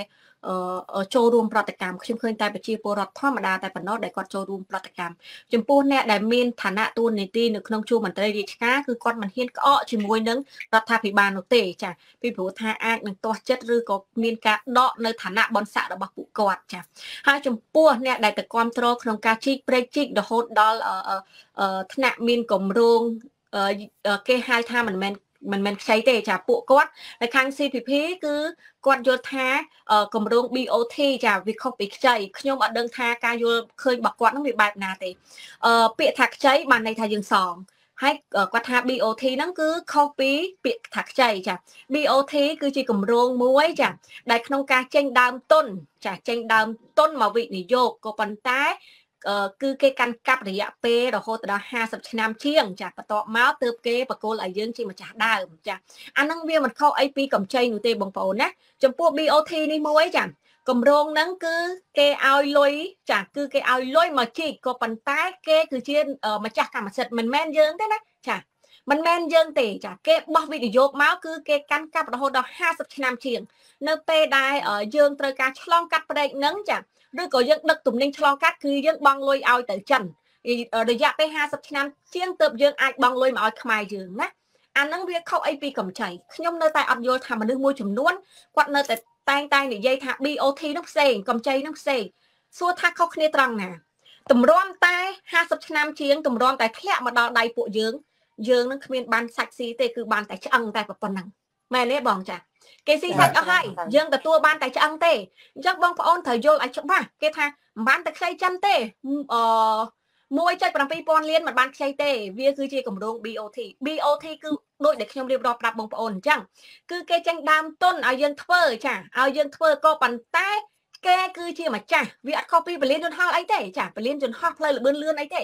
គេធ្វើហើយគឺគេយកលុយនៅពេលដែលយើងជិះកាត់ផ្លូវលបឿនលឿនហ្នឹង យើងបានបងលុយនោះឲ្យទៅចិនមិនមែនបងឲ្យតែខ្មែរទេតើតែផត់អាណត្តិចិនគ្រប់គ្រងទឹកយើងបងឲ្យខ្មែរចុះតំណតែផត់អាណត្តិផ្លូវហ្នឹងវាមិនត្រូវធ្វើសាដើមចាអញ្ចឹងប្រែកជីកហ្នឹងវាអត់ខុសគ្នាប្រហែលទេពលានយន្តហោះហ្នឹងក៏វាអត់ខុសគ្នាដែរហើយបងប្អូនមើលទៅអាកម្រង BOT នេះភាគច្រើនដូចផ្លូវផ្លូវអីធ្វើអត់បានប្រហែលទេចាព្រោះព្រោះមានតាកឹបកេងលើក្រោមបងប្អូនចា តម្រាំដល់យើងហ្នឹងគឺយើងសល់តែឆ្អឹងទេមិនបានសល់សាច់ទេអញ្ចឹងបងប្អូនមុននឹងគ្រប់គ្រងគម្រោងនីមួយនីមួយបងប្អូនត្រូវដឹងថាគម្រោងនោះតើផលចំណេញនៅឯណាចំណេញយើងឬក៏ចំណេញគេចាហើយបងប្អូនត្រូវដឹងថាចំណេញគេហើយចំណេញតែរដ្ឋាភិបាលទេចំពោះប្រជាជនគឺអត់បានចំណេញទេគម្រោងហ្នឹងបងប្អូនត្រូវមិនមិនទៀតឧទាហរណ៍ថាអឺឆ្លងកាត់មួយកុងតឺន័រម្ដង100ដុល្លារជាងចុះបើចិនវាយក200ដុល្លារតើខ្មែរមានសិទ្ធអត់ខ្មែរមានសិទ្ធនិយាយអត់ចា និយាយអត់កើតទៀតពីព្រោះថាគេបានបោះទុនមកឲ្យសាងសង់ហើយអញ្ចឹងគេចង់តម្លើងថ្លៃឬក៏តម្លាក់ថ្លៃអាហ្នឹងអាស្រ័យទៅលើចិននឹងទៀតចាមិនមែនអាស្រ័យទៅលើយើងទេពីព្រោះយើងអត់ទាន់មានសិទ្ធអីទាំងអស់ពេលហ្នឹងគឺសិទ្ធនៅលើគេសិទ្ធនៅលើគេយើងអត់ទាន់មានសិទ្ធអីទាំងអស់ចាអញ្ចឹងអាកម្រងប្រេកជីកនេះគឺជាកម្រងមួយដែលបងប្អូនត្រូវដឹងថាខាតខាត់ចំពោះប្រជាជនខ្មែរហើយប៉ះពាល់មនុស្សជាច្រើនហើយបងប្អូនដែលដែលដែលគេកំពុងតែក្រងជីកប្រៃជីកហ្នឹងណា បងប្អូនត្រៀមទឹកភ្នែកទៅចាត្រៀមទឹកភ្នែកទៅថាតើវាប៉ះពាល់អីខ្លះហើយសួរថាតើរដ្ឋាភិបាលនឹងត្រៀមនឹងសងសំណងដល់បងប្អូនអត់ហើយបងប្អូនត្រូវមើលថាតាំងពីគេគេដឹកនាំប្រហែល40ឆ្នាំជាងពីឪរហូតដល់កូនហ្នឹងណាតើកម្រងណាខ្លះដែលគេផ្ដល់សំណងទៅកាន់បងប្អូនហើយមានប្រមាណដងចាមានប្រមាណកម្រងដែលគេតែងតែផ្ដល់សំណងហើយកម្រងណាខ្លះដែលគេមិនផ្ដល់សោះរហូតដល់ថ្នាក់គេដេញចេញយក free free ចាអញ្ចឹងបងប្អូនមុននឹងគ្រប់គ្រង ទោះបងប្អូនមិនប៉ះពាល់ក៏ដោយត្រូវគិតដល់អ្នកដែលគេប៉ះពាល់ផងបាទអរគុណអូនលក្ខណៈដែលបានបកស្រាយបោះស្បាយអំពីប៉ះពាល់អាកាសធាតុក៏ដូចជាការលុបបង្លុបទន្លេនេះក៏វាអាចប៉ះពាល់ដល់អាកាសធាតុផងដែរដែលបងប្អូនដឹងហើយទឹកជាចំហាយមួយត្រជាក់បាចសាចទៅលើរុក្ខជាតិក៏ដូចជាមនុស្ស លោកនៅជុំវិញហៅជុំវិញបឹងជុំវិញទន្លេហ្នឹងប៉ុន្តែផ្ទុយទៅវិញត្រូវបានគេលុបអស់ហើយគេថាដើម្បីអភិវឌ្ឍបាទពាក្យអភិវឌ្ឍនោះទៀតយើងឃើញហើយប្រជាពលរដ្ឋមួយចំនួនត្រូវបានវាយធ្វើបាបចាប់ដាក់គុកបាទចាប់ដាក់គុកគ្រប់សពបែបយ៉ាងទាំងអស់ដែលពួកគាត់តែងរងនៅយុទ្ធធររបបសពថ្ងៃនេះប៉ុន្តែគេមិនដែលយករឿងអយុត្តិធម៌មកផ្សព្វផ្សាយមកនិយាយដោះស្រាយទេគេតែងតែកិច្ចវេះពី រឿងមួយទៅរឿងមួយបងប្អូនជនរួមជាតិឃើញហើយមួយរយៈនេះនៃប្រទេសកម្ពុជាយើងត្រូវបានគេលុបបឹងលុបទន្លេ បាទលុបសមុទ្រធ្វើឲ្យអាកាសធាតុក្តៅកើនឡើងវាហៅថាអត់មានកម្របនៃខ្យល់អុកស៊ីសែនហើយព្រៃឈើយើងត្រូវមួយឆ្នាំមួយឆ្នាំរាប់លានហត្តា បាទខេត្តមួយមួយរាប់សែនហត្តាត្រូវកាប់គេកាប់បំផ្លាញបន្តបន្តហើយកាប់បំផ្លាញនេះមិនមែនចោល500មកពីណាទេបងប្អូនសុទ្ធតែអុកញ៉ា ដែលរបបសពថ្ងៃនឹងតែងតាំងឡើងហើយយកទៅប្រើប្រាស់អុកញ៉ាទាំងអស់នោះភាកច្រើនជាអុកញ៉ាស៊ីឈ្នួលរកស៊ីឲ្យតកូលហ៊ុននឹងតែម្ដងបាទនិយាយឲ្យមែនតែពួកក្រុមបំផ្លាញជាតិបាទគឺគាត់មានសិទ្ធិមានអីទាំងអស់យឺតរហូតដល់វត្តខ្លះនៅក្នុងព្រៃគេទៅកាប់ព្រៃឈើអស់ដុតវត្តចោលទៀតបាទដុតវត្តចោលទៀតដូចវត្តមួយនៅខេត្តអឺមេដាធម្មជាតិមិនទេបងប្អូនខ្ញុំភ្លេចទៅនៅខេត្តកំពង់ស្ពឺឯងបាទ គឺយើងឃើញអាណ້ອຍអាធម្មមែនទែនសង្គមខ្មែរយើងសពថ្ងៃនេះអាការបំរែបំរួលអាកាសធាតុហ្នឹងវាមិនមែនមកពីកត្តាធម្មជាតិទាំងអស់ទេបងប្អូនគឺមកកត្តាមនុស្សមនុស្សនេះណាគឺពួកអ្នកមានអំណាចនៃប្រទេសកម្ពុជាហ្នឹងអ្នកពួកមានអំណាចហេតុអីមានសិទ្ធិម្លេះទៅដល់ការធ្វើការកំតិចនៅការគេហៅថាលុបបឹងលុបទន្លេកាត់ព្រៃឈើណាគូដោយសារគេស្រូបយក ធនធានទាំងអស់ហ្នឹងធ្វើមានបានបងប្អូនឃើញហើយគណៈបកកាន់អំណាចមួយចំនួនបកពួកគាត់បានយកលុយពីប្រទេសកម្ពុជាទៅទិញដីនៅកាណាដានៅអូស្ត្រាលីនៅសហរដ្ឋអាមេរិករាប់រយហត្តាខ្ញុំនិយាយនេះមិនមែនចោតប្រកាន់ទេប្រភពព័ត៌មានរបស់អាស៊ីសេរីបងជួនចាច់បុតធ្លាប់ធ្វើបတ်បង្ហាញនៃមន្ត្រីក្រាក់ក្រាក់របបប្រំពេញ ណានាំយកលុយពីប្រទេសកម្ពុជារាប់រយរាប់ពាន់លានទៅទិញដីនៅក្រៅប្រទេសទិញសញ្ជាតិនៅក្រៅប្រទេសថ្មីថ្មីនេះទៀតយើងប្រទេសកម្ពុជាយើងជាប្រទេសសវណ្ណភូមិពាក្យថាសវណ្ណភូមិប្រទេសទៅដោយសម្បូរមាសមាសពេជ្ររបស់យើងប៉ុន្តែត្រូវបានជន់បរទេសជនជាតិចិនជនជាតិយួននៅប្រទេសក្បែរខាងនេះយើង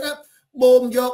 សម្រាញ់យកជាមាសជួញដូររហូតដល់បែកធ្លាយរាប់ពាន់តោនរាប់រយតោន ចេញទៅដល់ប្រទេសវៀតណាមចេញទៅដល់ប្រទេសចិនតែពលរដ្ឋយើងជាម្ចាស់ប្រទេសម្ចាស់អំណាចជាពលរដ្ឋយើង ជាអ្នកកសាងអង្គរជាពលរដ្ឋយើងដែលជាម្ចាស់ឆ្នោតបែរជាក្រីក្រលំបាកលហេមលហាមវេទនាតោកយ៉ាក់ណាដើរសុំទៀងគេធ្វើជាស្កនៅប្រទេសគេ អ្នកស្នេហាជាតិពិតប្រកបដោយបងយ៉ាកំលេងចេះដែលអ្នកតស៊ូ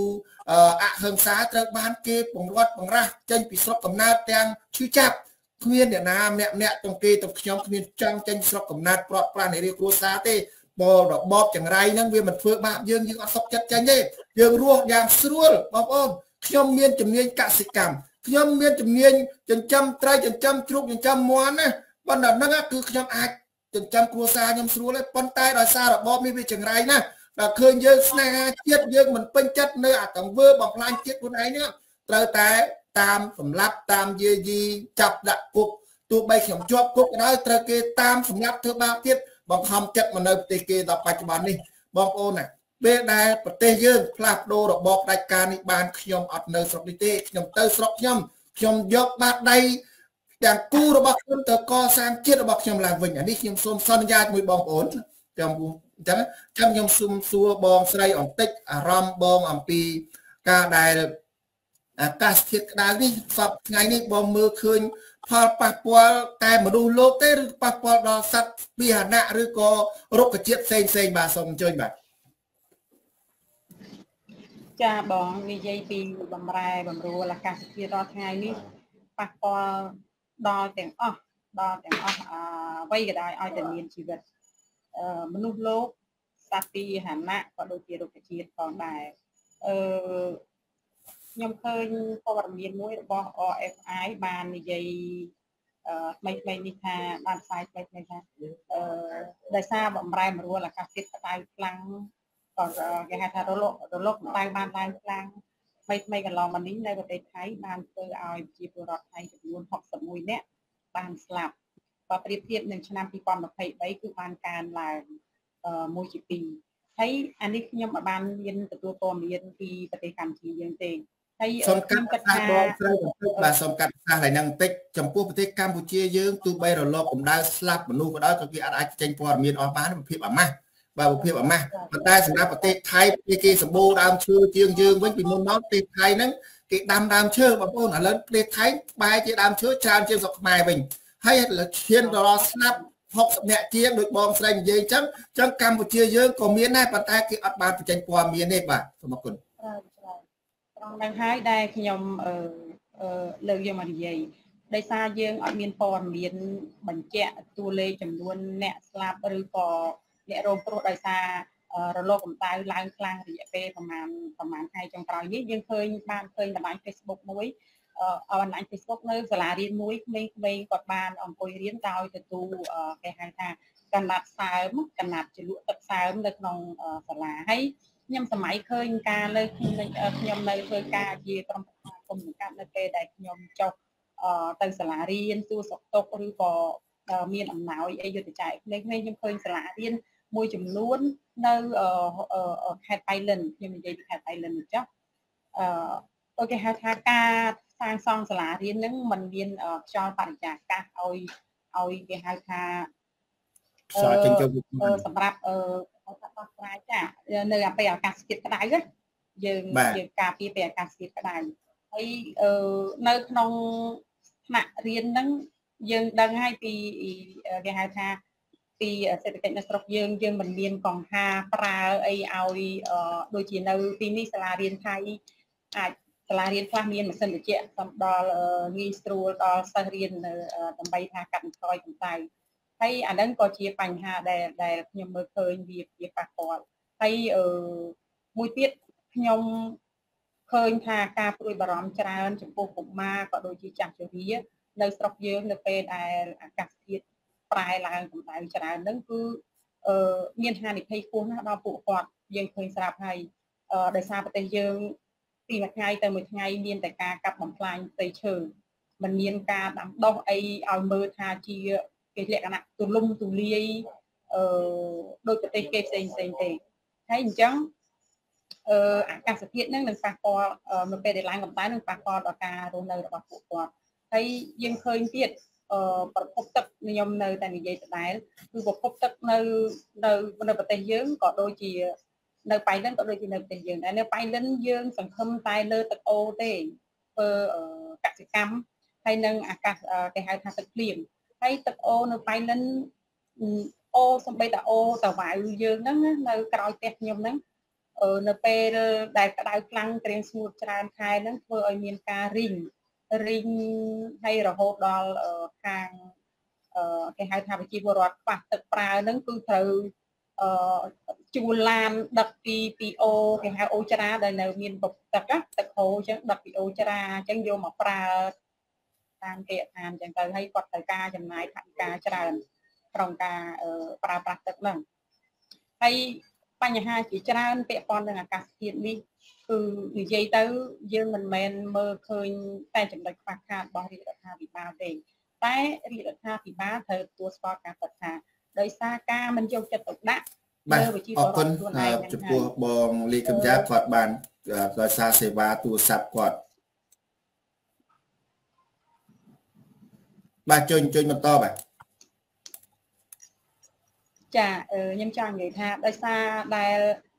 ការមិនយកចិត្តដាក់ចិត្តទុកដាក់លើប្រជាពលរដ្ឋខ្លួនឯងរាល់ថ្ងៃនេះហើយបានធ្វើឲ្យប្រជាពលរដ្ឋមានផលវិបាកក្នុងការរស់នៅ ក្នុងការប្រកបរបរចិញ្ចឹមជីវិតហើយធ្វើឲ្យបងប្អូនយើងធ្វើការចំណាក់ស្រុកច្រើនព្រោះនៅក្នុងស្រុកយើងយើងអត់មានប្រភពទឹកនៅប៉ែរដូវប្រាំងឡើងយើងអត់មានការងារធ្វើទេ អញ្ចឹងយើងត្រូវរត់ទៅនេះរត់ទៅនោះកន្លែងណាដែលអាចថាមានការងារអឺអឺបដូរនឹងអាហារយកមករស់នៅបន្តណាអញ្ចឹងទៅអឺពីមួយថ្ងៃទៅមួយថ្ងៃហ្នឹងវាវាក្តៅទៅក្តៅទៅទឹកហ្នឹងវាខ្សត់ទៅខ្សត់ទៅវាធ្វើឲ្យមនុស្សហ្នឹងចេញពីភូមិស្ទើរអស់ហើយជាពិសេសកម្លាំងយុវជនអាហ្នឹងវាពាក់ព័ន្ធទាំងអស់នឹងការបំរែបំរួលរបស់ការជាតិហើយបើសិនជាអាជ្ញាធរគាត់មានការគេហៅថាគិតពិចារណាឲ្យវែងឆ្ងាយ តើយើងមានវិធានការអីដើម្បីទប់ស្កាត់នៅពេលដែលអាកាសធាតុប្រែប្រួល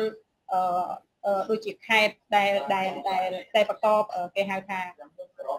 កសិកម្មច្រើនដែលធ្វើកសិកម្មច្រើនយើងត្រូវមានវិធានការថាយ៉ាងម៉េចដើម្បីទប់ទឹកកម្រិតណាមួយដែលអាចឲ្យគាត់បន្តធ្វើកសិកម្មនៅក្នុងរដូវរដូវរដូវប្រាំងហ្នឹងអញ្ចឹងខ្ញុំឃើញប្រទេសគេផ្សេងផ្សេងទោះបាថាប្រទេសគេជាពិសេសប្រទេសថៃយើងមើលទៅ អឺនៅជាប់ប្រទេសយើងមិនមានណាឆ្ងាយទេគេមានការគិតគូរវែងឆ្ងាយណាស់សម្ដល់ដល់ប្រជាពលរដ្ឋគេក៏ដូចជាដល់ប្រទេសគេដែរអាហ្នឹងវាអត់ខុសគ្នាទេអញ្ចឹងគេគេត្រៀមទឹកយ៉ាងម៉េចគេទុកដាក់ទឹកយ៉ាងម៉េចនៅពេលរដូវប្រាំងមកដល់ហើយនៅពេលរដូវវស្សា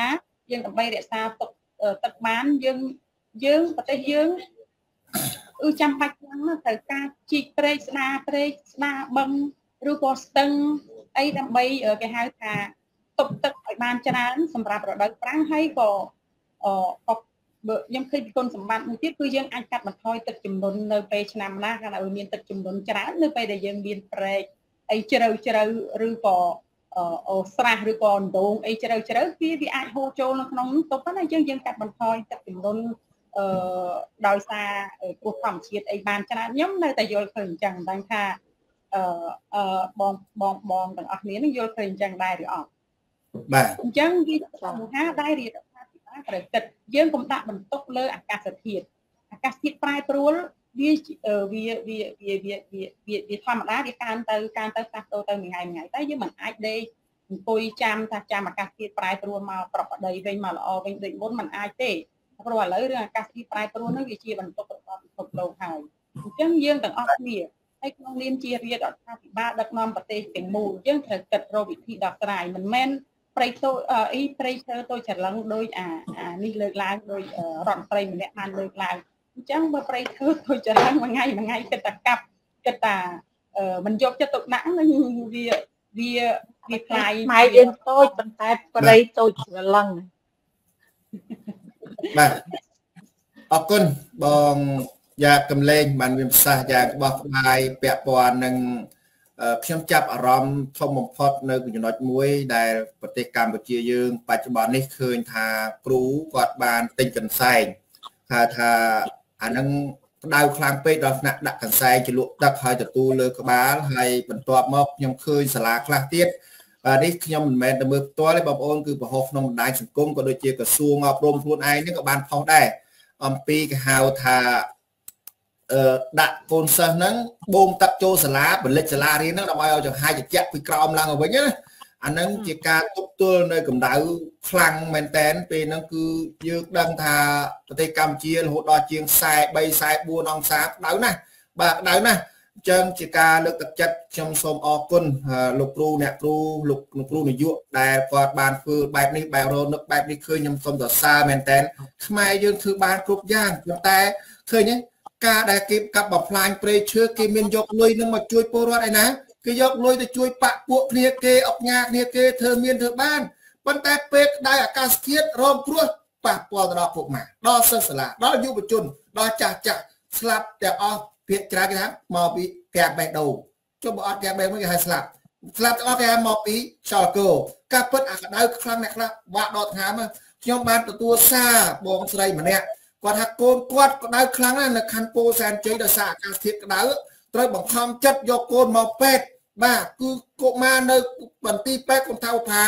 គាត់គេថាបន្ទីពេទ្យគុណថាផាទី1ទី5នៅក្រោយវាំងហ្នឹងគឺសិតតែកុមារក្តៅទាំងអស់ដោយសារអាកាសធាតុក្តៅពេកដកដង្ហើមអត់គ្រប់កុមារចុះមនុស្សចាស់គាត់លំបាកហើយចុះតម្រាំកុមារយើងនេះអានេះវាប៉ះពាល់បងប្អូនមិនមែនប៉ះពាល់តែមនុស្សចាស់ប៉ះពាល់ដល់កុមារប៉ះពាល់ដល់សត្វ បានដល់ពេលក្តៅខ្លាំងធ្វើឲ្យសត្វជ្រូកមាន់ទាគោក្បីប្រជាពលរដ្ឋមួយចំនួនក៏ស្លាប់ក៏ងាប់ច្រើនដែរបាទចឹងហើយបញ្ហាអាកាសធាតុបងប្អូនមិនធម្មតាខ្ញុំនេះស្រុកនេះទឹមកក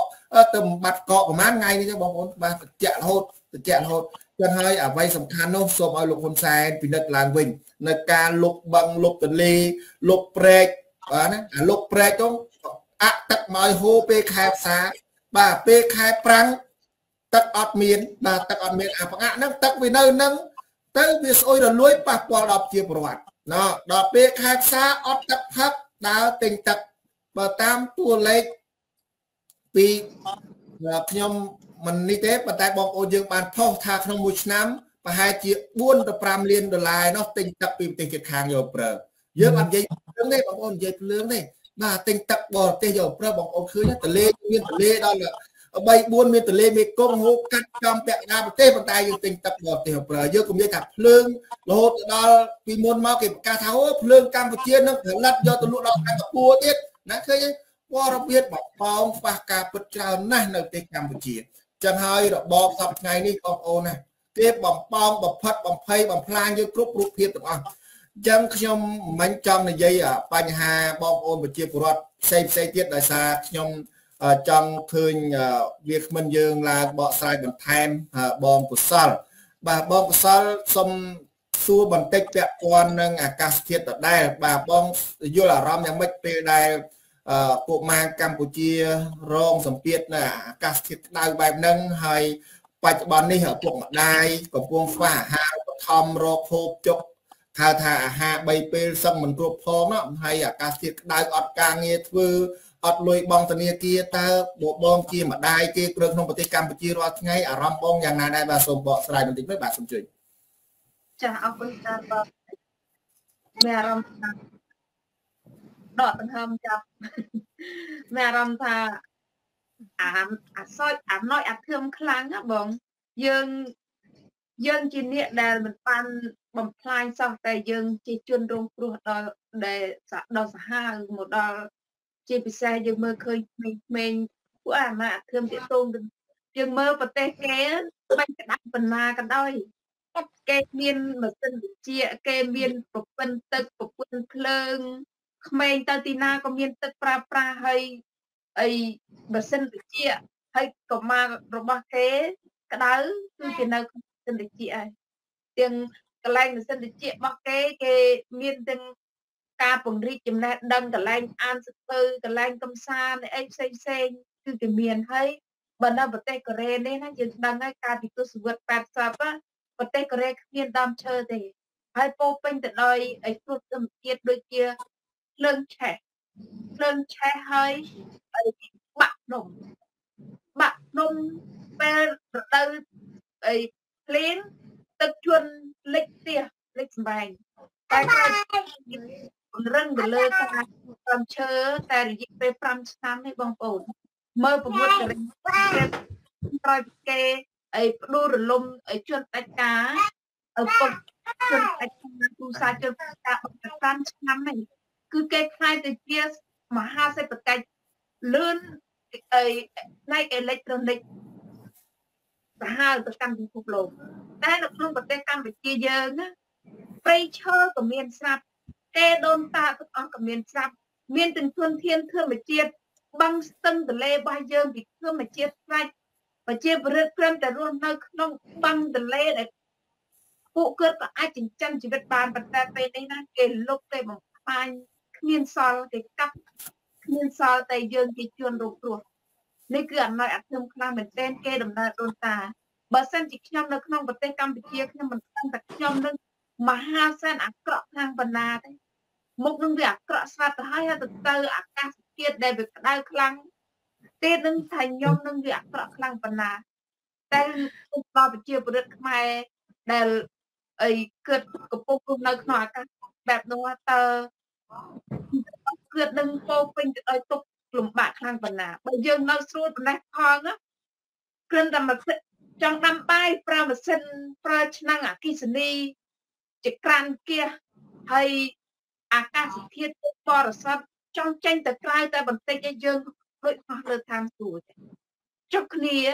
តើលំបាកគ្នាខាងប៉ុណ្ណាជាពិសេសពួកកុមារពួកអាអានៅអាខ្ញុំណាចង់ខ្ញុំសូមឲ្យបងប្អូនទាំងអស់គ្នាលោកអញ្ញាអ្នកមានលុយមានអំណាចទាំងឡាយអើយអាសូរជាតិខ្មែរផងអ្នកក៏ត្រូវការរស់ស្រួលមនុស្សទាំងអស់ដែលគ្នាគ្មានសមត្ថភាព ក៏គ្នាត្រូវការរស់ស្រួលដូចគ្នាយើងចែកគ្នារស់មិនមែនដណ្ដើមគ្នារស់ដូចពួកអស់លោកទេអាងតែមានលុយមានអំណាចចង់ធ្វើអីបានតាមតែអំពើចិត្តរួមគ្នាបំផ្លាញព្រៃឈើយកទូនាទីរបស់ប្រជាពលរដ្ឋដែលស៊ីប្រាក់ខែប្រជាពលរដ្ឋទៅបំផ្លាញព្រៃឈើនេះទាំងអស់គ្នាសំជាមនុស្សដែរឬទេ ជាពិសេសយើងមើលឃើញថាលោកគ្រូអ្នកគ្រូកន្លងមកខ្ញុំមិនបន្តទេប៉ុន្តែពិចារណាម្ដងទៀត នៅពេលដែលលោកគ្រូរំឈុនក៏ចេញទៀតគ្រូរឹបបើអ្នករឹបមើលអ្នកនៅក្នុងប្រទេសកម្ពុជាដែលស្វាយផលទេតែពេលនេះណាគ្រូដឹងហើយបន្ទុករបស់គ្រូមិនមែនគ្រាន់តែលំបាកនៅក្នុងការបង្រៀនមួយមុខទេថែមទាំងពិបាកត្រូវជៀសទឹកកូនខ្លះដូចទេជៀសទឹកគ្រូអដាក់សັບជ្រូកសັບចិញ្ចឹមក្នុងទ្រុងយ៉ាងនេះឯងដោយសារតែអស់លោកលោកស្រី អ្នកមានលុយអ្នកមានអំណាចក៏ដូចជាមន្ត្រីរាជការរឹបម៉ឺនរឹបពិនអ្នកអឺដែលមិនខ្វល់អំពីការបំផ្លាញរបស់ជនមានលុយមានអំណាចហើយនឹងគ្នាសងំមកយើងបើសិនជាគេដកយើងជាគ្រូបង្រៀនចាញ់យើងមានលុយខែអីស៊ីមានអីចាយគ្រប់គ្រាន់តែពេលនេះយើងទោះបីមានលុយចាយក៏ពិបាករស់ដែរមិនមិនមែនគាត់និយាយទៅដល់អត់លុយចាយពិបាក មានលុយចាយក៏ពិបាករស់ដែរដោយសារអាកាសធាតុដែលយើងលែងស្គាល់អំពីបញ្ហាសង្គមលែងចូលរួមជឿឆ្អាតទៅរឿងសង្គមនេះឯងចាស់សូមរំលឹកមកវិញទាំងអស់គ្នាថាមេត្តាចែកគ្នារស់ចេះចូលរួមគិតសង្គមកុំគិតតែមួយថ្ងៃថ្ងៃនេះកុំគិតត្រឹមតែលុយខែត្រូវគិតដល់អនាគតកូនរបស់បងប្អូនដែរបងប្អូនខំចិញ្ចឹមយកលុយខែមួយចិញ្ចឹមថាចង់ឲ្យស្រួលស្រួលប៉ុន្តែផ្ទុយទៅវិញណាដោយសារតែបងប្អូនមិនខ្វល់អំពីសង្គមជាតិណា កូនចៅបងប្អូនគ្រប់ជំនាន់នឹងវិញចាខ្ញុំសូមទៅរូបនេះបាទអរគុណបងកុសលបាននិយាយក្រកដួលមែនតែនចំពោះកូនខ្មែរស្នេហាជាតិដែលតែងតែរងគ្រោះជាបន្តបន្ទាប់មកដល់ពេលបច្ចុប្បន្ននេះ យើងឃើញថាគណៈបកកណ្ដាលអំណាចបានចែកទូនាទីគ្នា ទៅប្លន់ដីប្រជាពលរដ្ឋ ចែកទូនាទីគ្នាទៅបោកប្រាស់ប្រជាពលរដ្ឋលក់ដីខ្យល់លក់ផ្ទះខ្យល់ចែកអំណាចទូនាទីគ្នា ទៅប្លន់ដុតផ្ទះប្រជាពលរដ្ឋធ្វើឲ្យគាត់វេទនារស់រានផ្លត់ផ្សានេះហើយដែលយើងមើលឃើញមកដល់បច្ចុប្បន្ននេះដោយសារអាកាសធាតុក្តៅសពថ្ងៃនេះគឺកត្តាមនុស្សកត្តាមនុស្សនេះមិនមែនប្រជាពលរដ្ឋទៅបំផ្លាញទេបងប្អូនគឺពួកមន្ត្រីមានអំណាចនៃរបបសពថ្ងៃនេះបានបំផ្លាញប៉ុន្តែពេលដែលរងគ្រោះគឺរងគ្រោះ ពលរដ្ឋខ្មែរទូទៅដែលរស់នៅក្នុងរបបសពថ្ងៃហ្នឹងបាទព្រោះពាក្យស្លោកគេថាម៉េចដែលយើងមើលឃើញទាំងអស់គ្នាយើងបំផ្លាញធម្មជាតិដល់វេនអស់ធម្មជាតិអីទប់លែងបានគឺធម្មជាតិបំផ្លាញយើងវិញ តែអ្នកបំផ្លាញនោះសិតតែអ្នកមានអំណាចតែអ្នករងគ្រោះទៅវិញអ្នកដែលថាខ្សែបងប្អូនក្តៅពួកអ្នកមានអំណាចវាមិនមកក្តៅជាមួយយើងណាបើសិនតែជាក់មកផ្ទះមកផ្ទះបន្ទប់ដាក់4 5គាត់ខ្វះលុយដែរ ព្រោះវាកាប់លុយឈើព្រៃឈើបូមរ៉ែហ្នឹងវារាប់ពាន់លានហើយហ្នឹងអញ្ចឹងវាទិញទាំងហាលដាក់ទិញសិនតែជាក់ដាក់100គ្រឿងផ្ទះវាអត់ឈឺក្បាលតែពលរដ្ឋវិញរកព្រឹកខ្វះងាយមានទាំងហាលណាដាក់ឥឡូវនេះខ្ញុំនិយាយច្រើនទៅខ្លាចវាខមិនយើងអន់ចិត្តថាយេឡើងធ្វើសម្រោះសម្រួលឬក៏មកនិយាយជំនួសអញໄວចាំទុកឲ្យអញនិយាយខ្លះផងមើលគេឥឡូវសូមជើញវ៉ាន់លក្ខណៈជាចុងក្រោយខ្ញុំដឹងថាថ្ងៃនេះជាថ្ងៃ Happy Birthday កូនកន្លោះហើយកូនកំងបាទ គឺសូមជូនពរក្មួយបងហើយក៏ដឹងថាតរៈវេលានេះគឺបងអូនត្រូវទៅទៅជួបជុំគ្រួសារពី birthday ដល់ក្មួយចឹងជូនពរក្មួយឲ្យហើយសុខសប្បាយរកស៊ីមានបានតិចតិចជុំហើយឲ្យកុំឲ្យមានជំងឺឆ្កាត់អីបៀតបៀនចឹងណាហើយក៏ជាចុងក្រោយដែរបងអូនវ៉ាន់លក្ខណៈមានអីផ្ដាំផ្ញើទៅដល់ប្រជាពលរដ្ឋខ្មែរក៏ដូចយុវជនឲ្យគាត់ងើបដឹងខ្លួនឡើងដោយបងអូនស្រីដែលខំធ្វើកិច្ចការសង្គមរាល់ថ្ងៃចឹងមានវ៉ាន់លក្ខណៈតែ3 4 5នាក់ហ៊ុនសែនកញ្ញាញ់ខួរបាទសូមអរគុណសូមជួយ ចចាអឺជាចុងក្រោយចាខ្ញុំអរគុណបងបងទាំងអស់គ្នាផងហើយក៏អរគុណបងប្អូនដែលកំពុងតែតាមដានទស្សនាចាអត់មានអីច្រើនទេគ្រាន់តែផ្ដាំផ្ញើដល់បងប្អូនទាំងអស់គ្នាថាអឺសង្គមមួយនេះកំពុងតែត្រូវការចាអ្នកដែលក្លាហានចាជួយជ្រោមជ្រែងទាំងអស់គ្នាពីព្រោះថាអត់អាចដាក់បន្ទុកចាបញ្ហាប្រទេសជាតិនេះទៅលើបុគ្គលណាម្នាក់ទេគឺចូលរួមដោយពួកយើងទាំងអស់គ្នាចាហើយអឺចំពោះខ្ញុំដូចដែលបងបាននិយាយចឹងបើសិនជាមានអ្នកដូចខ្ញុំ4ទៅ10អ្នកទៀតមកគឺខ្ញុំត្រេកអរមែនតើពីព្រោះថាខ្ញុំចង់ឲ្យមានអ្នកទាំងនោះមកជួយគ្នាជាមួយនឹងខ្ញុំដូចគ្នាចាហើយចំពោះការបងប្អូនដែលតែងតែនិយាយថាអូខ្លាចដូចអ្នកនេះខ្លាចដូចអ្នកនោះថ្ងៃក្រោយទៅ ចាខ្លាចដូចនាងមួយ570អីចឹងទៅបងប្អូនត្រូវដឹងថាមនុស្សវាអត់អាចអង្គុយទៅដូចគ្នាទេចាហើយបើសិនជាដូចគ្នាក៏បងប្អូនត្រូវដឹងថា មនុស្សចាការគិតគឺខុសគ្នាហើយអញ្ចឹងយើងកុំម៉ៃអីសោះកុំម៉ៃថាអូថ្ងៃក្រោយទៅអ្នកនេះដូចអ្នកនេះអ្នកខ្លះគេមានទុកលំបាករៀងខ្លួនរបស់គេយើងអត់អាចថាគេយ៉ាងណាបានទេកុំតែអីដែលឥឡូវបើសិនជាឃើញគេធ្វើល្អហើយយើងជួយគ្រប់គ្រងគេទៅចាជួយលើកស្ទួយគេទៅពីព្រោះថានៅក្នុងសង្គមមួយនេះគឺជាសង្គមដែលដេរឆានបំផុត គឺងើបនឹងជាប់របស់គេហើយហ៊ានតែងើបគេវាយហើយអញ្ចឹងកម្រមានអ្នកណាហ៊ានងើបតែបើគេហ៊ានងើបហើយបើអ្នកណាហ៊ានងើបគឺខ្ញុំនឹងលើកស្ទួយអ្នកនោះតែម្ដងចាហើយខ្ញុំចង់បានជាងគេគឺយុវជនតែម្ដងពីព្រោះថាយើងឃើញហើយយុវជនរបស់យើងយុវជនយុវជនរបស់យើងលក្ខណៈលក្ខណៈឯងនិយាយតែយុវជនអញ្ចឹងមិនបាត់អត់ហៅស្រីស្រីនេះឯងឡើងផងហៅតែយុវជនយុវតីចា យុវជនយុវជនយុវតីស្រីគាត់ថាខ្ញុំថាបងឯងហៅតែយុវជនតែមិនហៅស្រីស្រីណាបងឯងចង់តែហៅស្រីស្រីប៉ុន្តែបើនិយាយនិយាយតែយុវជនគាត់ខឹងណាចាចាខ្ញុំចង់ឲ្យមានយុវជនយុវតីជាច្រើនចេញមកឈឺឆ្អែរឿងសង្គមជាតិពីព្រោះថាបច្ចុប្បន្នយើងឃើញថាយុវជនមួយចំនួនយុវតីមួយចំនួនគឺគាត់បានភ្លេចខ្លួនថាគាត់មានកាតព្វកិច្ចក្នុងការឈឺឆ្អែរឿងសង្គមជាតិចាហើយដោយសារតែសង្គមឥឡូវគឺគេបំបិតចាបំបិតព័ត៌មានបំបិតសិទ្ធិសេរីភាពក្នុងការយុវជនឈឺឆ្អែអញ្ចឹងមានតែខ្ញុំនឹងឯងដែលតែងតែនិយាយជារឿយរឿយជារឿយរឿយថាសូមឲ្យយុវជននិងយុវតីទាំងអស់មកចូលរួមរឿងសង្គមជាតិជាមួយនឹងខ្ញុំជាមួយនឹងអឺអឺរៀមច្បងពីមុនពីមុនមកចាធ្វើតាមការណែនាំបកគាត់ចាដោយសារអីការប៉ັດទៅវ័យប្រព័ន្ធនេះវ័យដូចខ្ញុំប្រព័ន្ធនេះគឺជាវ័យមួយដែលកំពុងតែពេញរលុយតែម្ដងពេញរលុយហើយ ជាវ័យមួយដែលកំពុងតែកសាងសុភមង្គលគ្រួសារក៏ប៉ុន្តែអាសុភមង្គលគ្រួសារហើយនឹងរឿងប្រទេសជាតិហ្នឹងគឺត្រូវតែដើរទន្ទឹមគ្នាចាអនាគតហើយនឹងប្រទេសជាតិហ្នឹងគឺត្រូវដើរទន្ទឹមគ្នាយើងអត់អាចអឺគិតថាកសាងសុភមង្គលគ្រួសារគិតតែពីអឺការរលុយហើយបោះបង់រឿងប្រទេសជាតិចោលបានទេពីព្រោះថាតតែមានជាតិទៅមានយើងចាមនុស្សយើងស្លាប់មុនជាតិតើតើមានជាតិទៅមានយើងចាបើមានតែយើងអត់មានជាតិបានន័យថាយើងមិនដឹងរស័ក្តិរដែតទៅខាងណាមកពីណាគេមិនស្គាល់សវតាយើងទេចា អញ្ចឹងមុននឹងការលីចុងក្រោយរបស់ខ្ញុំខ្ញុំសង្ឃឹមថាថ្ងៃអនាគតទៅនឹងមានយុវជននិងយុវតីជាច្រើនមកចូលរួមជាឆ្អើរឿងសង្គមជាតិហើយខ្ញុំស្វាគមន៍ជានិច្ចចាចំពោះបុគ្គលណាដែលចង់ធ្វើរឿងសង្គមជាតិហើយមិនយល់ឬក៏មិនមិនមិនហ៊ាននិយាយចានិយាយព័ត៌មានខ្លីៗគឺខ្ញុំទទួលស្វាគមន៍និងជួយជ្រោមជ្រែងជានិច្ចចាសូមអរគុណបងបាទអរគុណអូន បានលក្ខណៈដែលបានចំណាយពេលដ៏មានតម្លៃចូលមកកម្មវិធីផ្សាយផ្ទាល់ហើយបងអូនមានធុរៈដោយសារថ្ងៃនេះជាថ្ងៃពុកកំណើតអរគុណណាស់សង្ឃឹមថាបងអូនផ្ដល់ពេលវេលាជួបគ្នាទាំងអស់គ្នាចាចាសូមជម្រាបបងអូនជូនពរមួយថ្ងៃពុកកំណើតផងអូនចាចាបងចាអរគុណច្រើនចាបាទអរគុណលក្ខណៈយើងនឹងជួប អឺជាមួយស្រីម៉ៅម្ដងឃើញស្រីម៉ៅអង្គុយញ៉ាំញ៉ាំយូរហើយបាទហើយយើងចង់បានសម្លេងជាអតីតហៅថាប្រធានសហជីពស្រីកម្មកនៅប្រទេសកម្ពុជាឥឡូវនេះកំពុងរស់នៅប្រទេសបារាំងអឺតើអ្វីទៅដែលធ្វើឲ្យស្រីម៉ៅចង់ចូលរួមនយោបាយបច្ចុប្បន្ននេះឃើញថាសារនយោបាយជាច្រើនស្រីម៉ៅផុសចេញទៅ ហើយពីមុនមកទោះបីស្ថិតក្នុងសហជីពក៏ដោយក៏មិនដែលឃើញសូវជាចូលរួមក្នុងនយោបាយដែរអឺសូមឲ្យសេម៉ៅបង្ហាញបន្តិចមើលដើម្បីកលជាកលឹះដល់បងប្អូនយើងចង់ចូលរួមដែរចូលតាមណាធ្វើអីខ្លះហើយយ៉ាងម៉េចបាទសូមជួយចាអរគុណបងជាដំបូងដែលខ្ញុំចង់ចូលធ្វើការជាអ្នកនយោបាយមួយរូបដោយសារតែបច្ចុប្បន្នសប្តាហ៍ថ្ងៃខ្ញុំឃើញប្រជាជនខ្មែរយើងគាត់ជួបការលំបាកច្រើន ហើយខ្ញុំចង់ឲ្យពួកគាត់មានសិទ្ធមានការតស៊ូហើយនឹងឲ្យពួកគាត់ចេះតវ៉ាកុំឲ្យគេគៀបសង្កត់លើពួកគាត់ក្នុងសិទ្ធិសេរីភាពរបស់ពួកគាត់សូមឲ្យគាត់មានសិទ្ធិបញ្ចេញមតិដូចជារូបខ្ញុំដែរអញ្ចឹងតែខ្ញុំសប្តាហ៍ខ្ញុំអត់ទាន់ចេះនិយាយអីហើយនឹងធ្វើអីដែលជាជ្រៅទេនិយាយទៅខ្ញុំសូមតែស្ដាប់បងបងតាម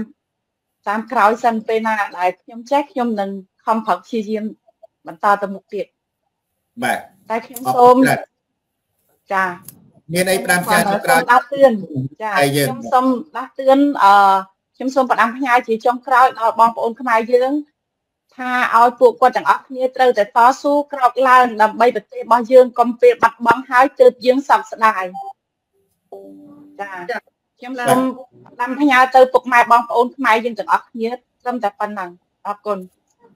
បាទអរគុណឥឡូវសូមអញ្ជើញបងយ៉ាកំលែងជាចុងក្រោយតើដើម្បីកាត់បន្ថយអាកាសធាតុក្តៅឬក៏ធ្វើឲ្យប៉ះពាល់ដល់ប្រទេសកម្ពុជាយើងតើបងមានអ្វីផ្ដាំផ្ញើដល់យុវជនក៏ដូចដល់មេដឹកនាំកម្ពុជាទេបាទសូមអញ្ជើញ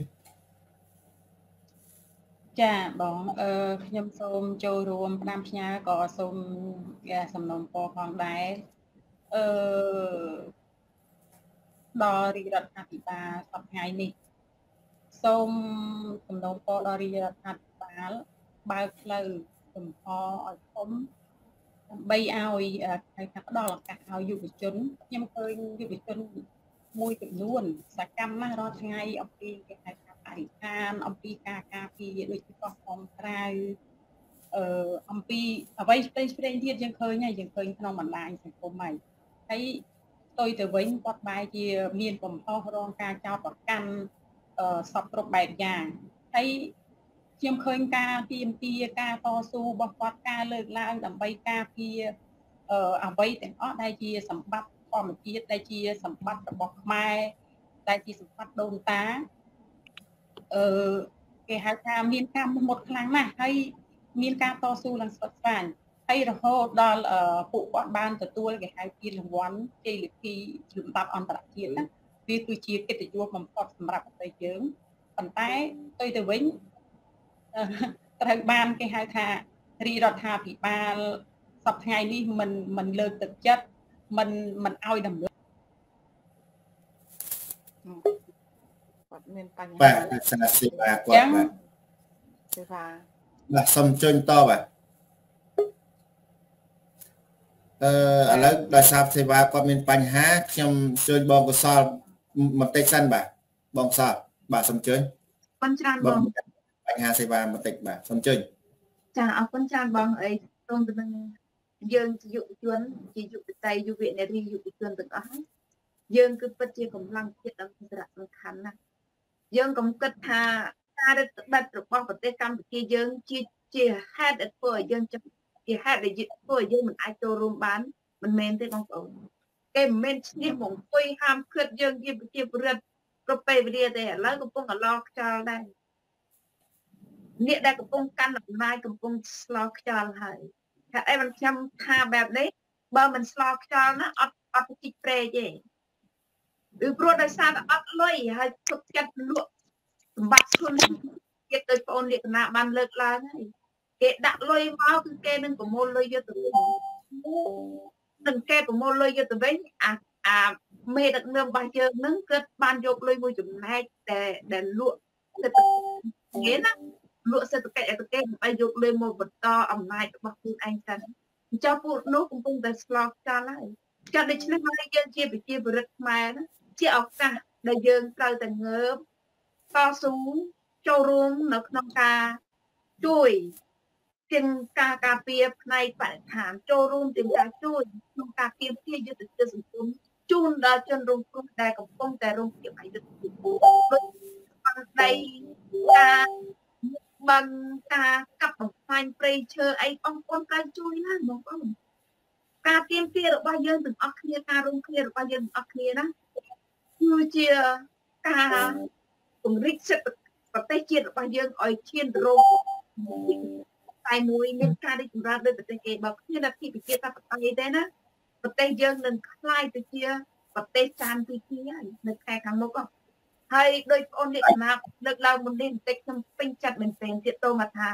បើគ្មានជាតិណាក៏គ្មានយើងដែរហើយបើយើងខំសង្ងំរឹង គ្រូសាខ្លួនឯងមិនខ្វល់ពីសង្គមជាតិណាយើងក៏គ្មានមុខនៅលើពិភពលោកដែរពីព្រោះអីយើងគិតមើលមានមនុស្សច្រើនណាស់ដែលចង់មកនៅកូរ៉េនេះឬក៏ប្រទេសអាមេរិកកាណាដាអីចង់ណាប្រទេសគេរីចម្រើនសួរទៅបានទេអត់បានទេមានតែប្រទេសកំណត់ខ្លួនឯងហ្នឹងដែលយើងអាចរស់នៅបានមិនមែន បើយើងអត់មានទីកំណត់មានប្រទេសកំណត់ខ្លួនឯងហើយយើងប្រៀបដូចជាមនុស្សដែលគ្មានទីសម្បែងចា៎ចុះសូមមកគិតគូររឿងជាតិយើងទាំងអស់គ្នាកុំដាក់បន្ទុកឲ្យក្រុមណាមួយឬគណៈបកណាមួយឬក៏អ្នកណាម្នាក់អសោះគឺយើងទាំងអស់គ្នាត្រូវទទួលខុសត្រូវនៅចំពោះមុខជាតិទាំងអស់គ្នាចាសសូមអរគុណច្រើនបាទអរគុណបងកសលសូមអញ្ជើញបងកំយ៉ាចុងក្រោយបាទមានអីបន្ថែមទេបាទសូមអញ្ជើញដាច់ អឺចាខ្ញុំសូមបន្ថែមត្រង់ចំណុចថាសូមឲ្យរាជរដ្ឋាភិបាលបើកឲ្យទូលំទូលាយផ្ដល់ឱកាសឲ្យយុវជនក៏ដូចវិជាពលរដ្ឋចូលរួមការពីបរិស្ថានការពីប្រៃឈើមានសិទ្ធិបញ្ចេញមតិអឺតាមការជាក់ស្ដែងដែលដែលគាត់មើលឃើញពីកង្វះខាតពីបញ្ហាដែលកើតមានឡើងនៅក្នុងសង្គមយើងសប្តាហ៍នេះអឺ ទាំងអស់នេះគឺជាការរិះគន់ដើម្បីស្ថាបនាប្រទេសជាតិយើងក៏ដូចជាគេហៅថាធ្វើការឲ្យមានការអភិវឌ្ឍការរីកចម្រើនដល់បងប្អូនខ្មែរយើងទាំងអស់នៅក្នុងស្រុកហើយបើមានការរឹតបន្តឹងបន្ថែមនឹងធ្វើឲ្យគេហៅថាថយចុះនៅអ្នកចូលរួមសកម្មភាពសង្គមធ្វើឲ្យប៉ះពាល់ដល់សេដ្ឋកិច្ចហើយបើប៉ះពាល់ដល់សេដ្ឋកិច្ចវាមានភាពលំបាកដល់ប្រជាពលរដ្ឋខ្លាំង ដូចបងបងលើកឡើងអញ្ចឹងពួកគាត់ជាអង្គការជាអ្នកមានអំណាចមិនមានបញ្ហាអីទេតែមានបញ្ហាផលប៉ះពាល់ជាប្រជាពលរដ្ឋធម្មតាអញ្ចឹងយើងជាប្រជាពលរដ្ឋធម្មតាទាំងអស់គ្នាត្រូវស្វែងយល់ពីវិធីដោះស្រាយទាំងអស់នេះដើម្បីយើងទាំងអស់គ្នាដោះស្រាយយ៉ាងម៉េចដើម្បីកុំឲ្យមានផលវិបាកដល់ទៅពួកយើងជាអ្នក គេហៅថាជាពលរដ្ឋធម្មតាយើងត្រូវមានការទៀមទាការចូលរួមការស្វែងយល់ឲ្យច្រើនអំពីនយោបាយក៏ដូចជាការតស៊ូមតិផ្សេងផ្សេងឲ្យបានច្រើនបើទោះណាមានការរឹតបន្តឹងដោយសពថ្ងៃនេះក៏ដោយប៉ុន្តែយើងមិនអាចបោះបង់ចោលដាច់ខាតព្រោះការបោះបង់ចោលការទៀមទាការចូលរួមមតិការបញ្ចេញមតិវាធ្វើឲ្យយើងកាន់តែស្ងាត់ទៅស្ងាត់ទៅស្ងាត់ទៅ ហើយជាឱកាសល្អដល់គេហៅថាអ្នកមានអំណាចមួយចំនួនរត់តែបានដៃរត់តែមានឱកាសបំផ្លាញទ្រព្យសម្បត្តិដូនតាខ្មែរយើងទាំងអស់បន្ថែមទៀតហើយដើម្បីរក្សាអឺគេហៅថាសម្បត្តិធម្មជាតិក៏ដូចជាជាតិសាសន៍យើងឲ្យបានយូរអង្វែងមានតែយើងគ្រប់គ្នាជាយុវជនអឺជាកិច្ចសង្ឃឹមរបស់ប្រទេសជាតិយើងក៏ដូចជាយុវចាស់មួយចំនួនអឺ ផងដែរគាត់គួរតែគេហៅថាអឺគោរពនៅសតិសម្បញ្ញជាក្នុងនាមជាយុវចាស់អឺក៏ដូចជាខ្សែចំនួនចំនួនតតទៀតយើងធ្វើអ្វីគិតអ្វីឲ្យបានច្រើនដើម្បីអ្នកចំនួនក្រោយរបស់យើងហើយអឺខ្ញុំសូមចូលរួមប៉ុណ្ណឹងដោយសារអឺទុកឱកាសឲ្យបងបងបន្តទៅទៀតចា៎បាទអរគុណ បងយ៉ាកំលេងតែមានប្រសាសន៍ប្រាប់ផ្ញើចុងក្រោយសូមអញ្ជើញសីម៉ៅបាទមានអ្វីខ្សែផ្ដាំចុងក្រោយផងដែរដោយសារពេលវេលាយើងច្រើនដែរបាទសូមអញ្ជើញចាអរគុណបងជាទៅខ្ញុំក៏អត់មានអីច្រើនដែរបដែផ្ដាំទៅបងប្អូនប្រជាពលរដ្ឋខ្មែរយើង គឺសូមឲ្យតែពួកគាត់ចេះសាមគ្គីគ្នាហើយនឹងខំប្រឹងតស៊ូដើម្បីស្ដារប្រទេសរបស់យើងវិញទាំងអស់គ្នាព្រោះអីយើងរស់នៅរាល់ថ្ងៃ យើងគិតថាយើងនៅក្រោមសម្ពាធរបស់រដ្ឋាភិបាលសប្តាហ៍ថ្ងៃប៉ុន្តែយើងមិនគួរនឹងខ្លាចទេបើសិនជាយើងនាំគ្នាខ្លាចកាន់តែខ្លាំងយើងនឹងឆាប់បាត់បង់កាន់តែលឿនចាខ្ញុំសូមផ្ដាំផ្ញើតែប៉ុណ្្នឹងអរគុណបាទអរគុណអឺជាចុងក្រោយខ្ញុំមិនមានអីច្រើនទេប៉ុន្តែទើបទទួលព័ត៌មានមុននេះ យើងឃើញថាក្រសួងហិរញ្ញវត្ថុប្រកាសអាសន្នបាទឲ្យមន្ត្រី គ្រប់រំដាប់ថ្នាក់ខាងក្រោមស្ថាប័នខាងក្រោមទាំងអស់ពង្រឹងនិងពង្រីកលុយថវិកាជាតិនិងប្រយ័ត្នប្រយែងក្នុងការប្រើប្រាស់នេះគឺជាសំណេររបស់ក្រសួងរញ្ញវត្ថុលោកពងនិរតបាទបានចុះផ្សាយអូនពួនមនីរតបាទបានចុះផ្សាយកាលពីថ្ងៃទី7បាទទី7បានមានដល់ទៅប្រមាណ6ចំណុចឯបងប្អូន6ចំណុចឯនោះឲ្យប្រុងប្រយ័ត្ន ចំពោះថាវិការលុបចោលការកសាងអភិវឌ្ឍមួយចំនួនដោយសារខ្វះលុយនេះបាទនៅយើងមើលឃើញហើយពាក់ព័ន្ធទាំងអស់នេះទូទួលអ្នកស្ការនឹងបកស្រាយនៅថ្ងៃស្អែកបន្ថែមទៅលើព័ត៌មានទាំងអស់នេះតើកត្តាអ្វីខ្លះបានធ្វើឲ្យក្រសួងរញ្ញវត្ថុបាទក្រសួងរញ្ញវត្ថុនេះចេញសេចក្តីថ្លែងការណ៍ក៏ដូចចេញគេជូនព័ត៌មានទៅដល់មន្ត្រីគ្រប់ស្ថាប័នទាំងអស់ពាក់ព័ន្ធថវិកានេះនេះជា អ្វីដែលយើងព្រួយបារម្ភចំពោះពលរដ្ឋខ្មែរយើងដូចជាហានិភ័យខ្ពស់សម្រាប់ជាតិខ្មែរយើងកំពុងតែជួបបញ្ហាហើយ គេបែរជានាំគ្នាទៅគ្រប់គ្រងជីកព្រៃជីកចាយលុយខ្ជះខ្ជាយហើយលុយនោះគឺជាលុយខ្ចីបំណុលគេទៀតបាទហើយពលរដ្ឋយើងគេហៅថាអឺក៏ជន់កក្រឲ្យកូនឈឺទៀតណាបាទក្រឲ្យកូនឈឺទៀតណាបន្ថែមទៅលើបំណុលចាស់កើនឡើងទៀតបាទ អញ្ចឹងហើយសូមបងប្អូនជនជាតិតាមដានព័ត៌មានទាំងអស់គ្នាថ្ងៃនេះខ្ញុំសូមអរគុណដល់វាគ្មិនយើងទាំងអស់បងបងទាំងអស់គ្នាបានចូលរួមក៏ដូចជាបងប្អូន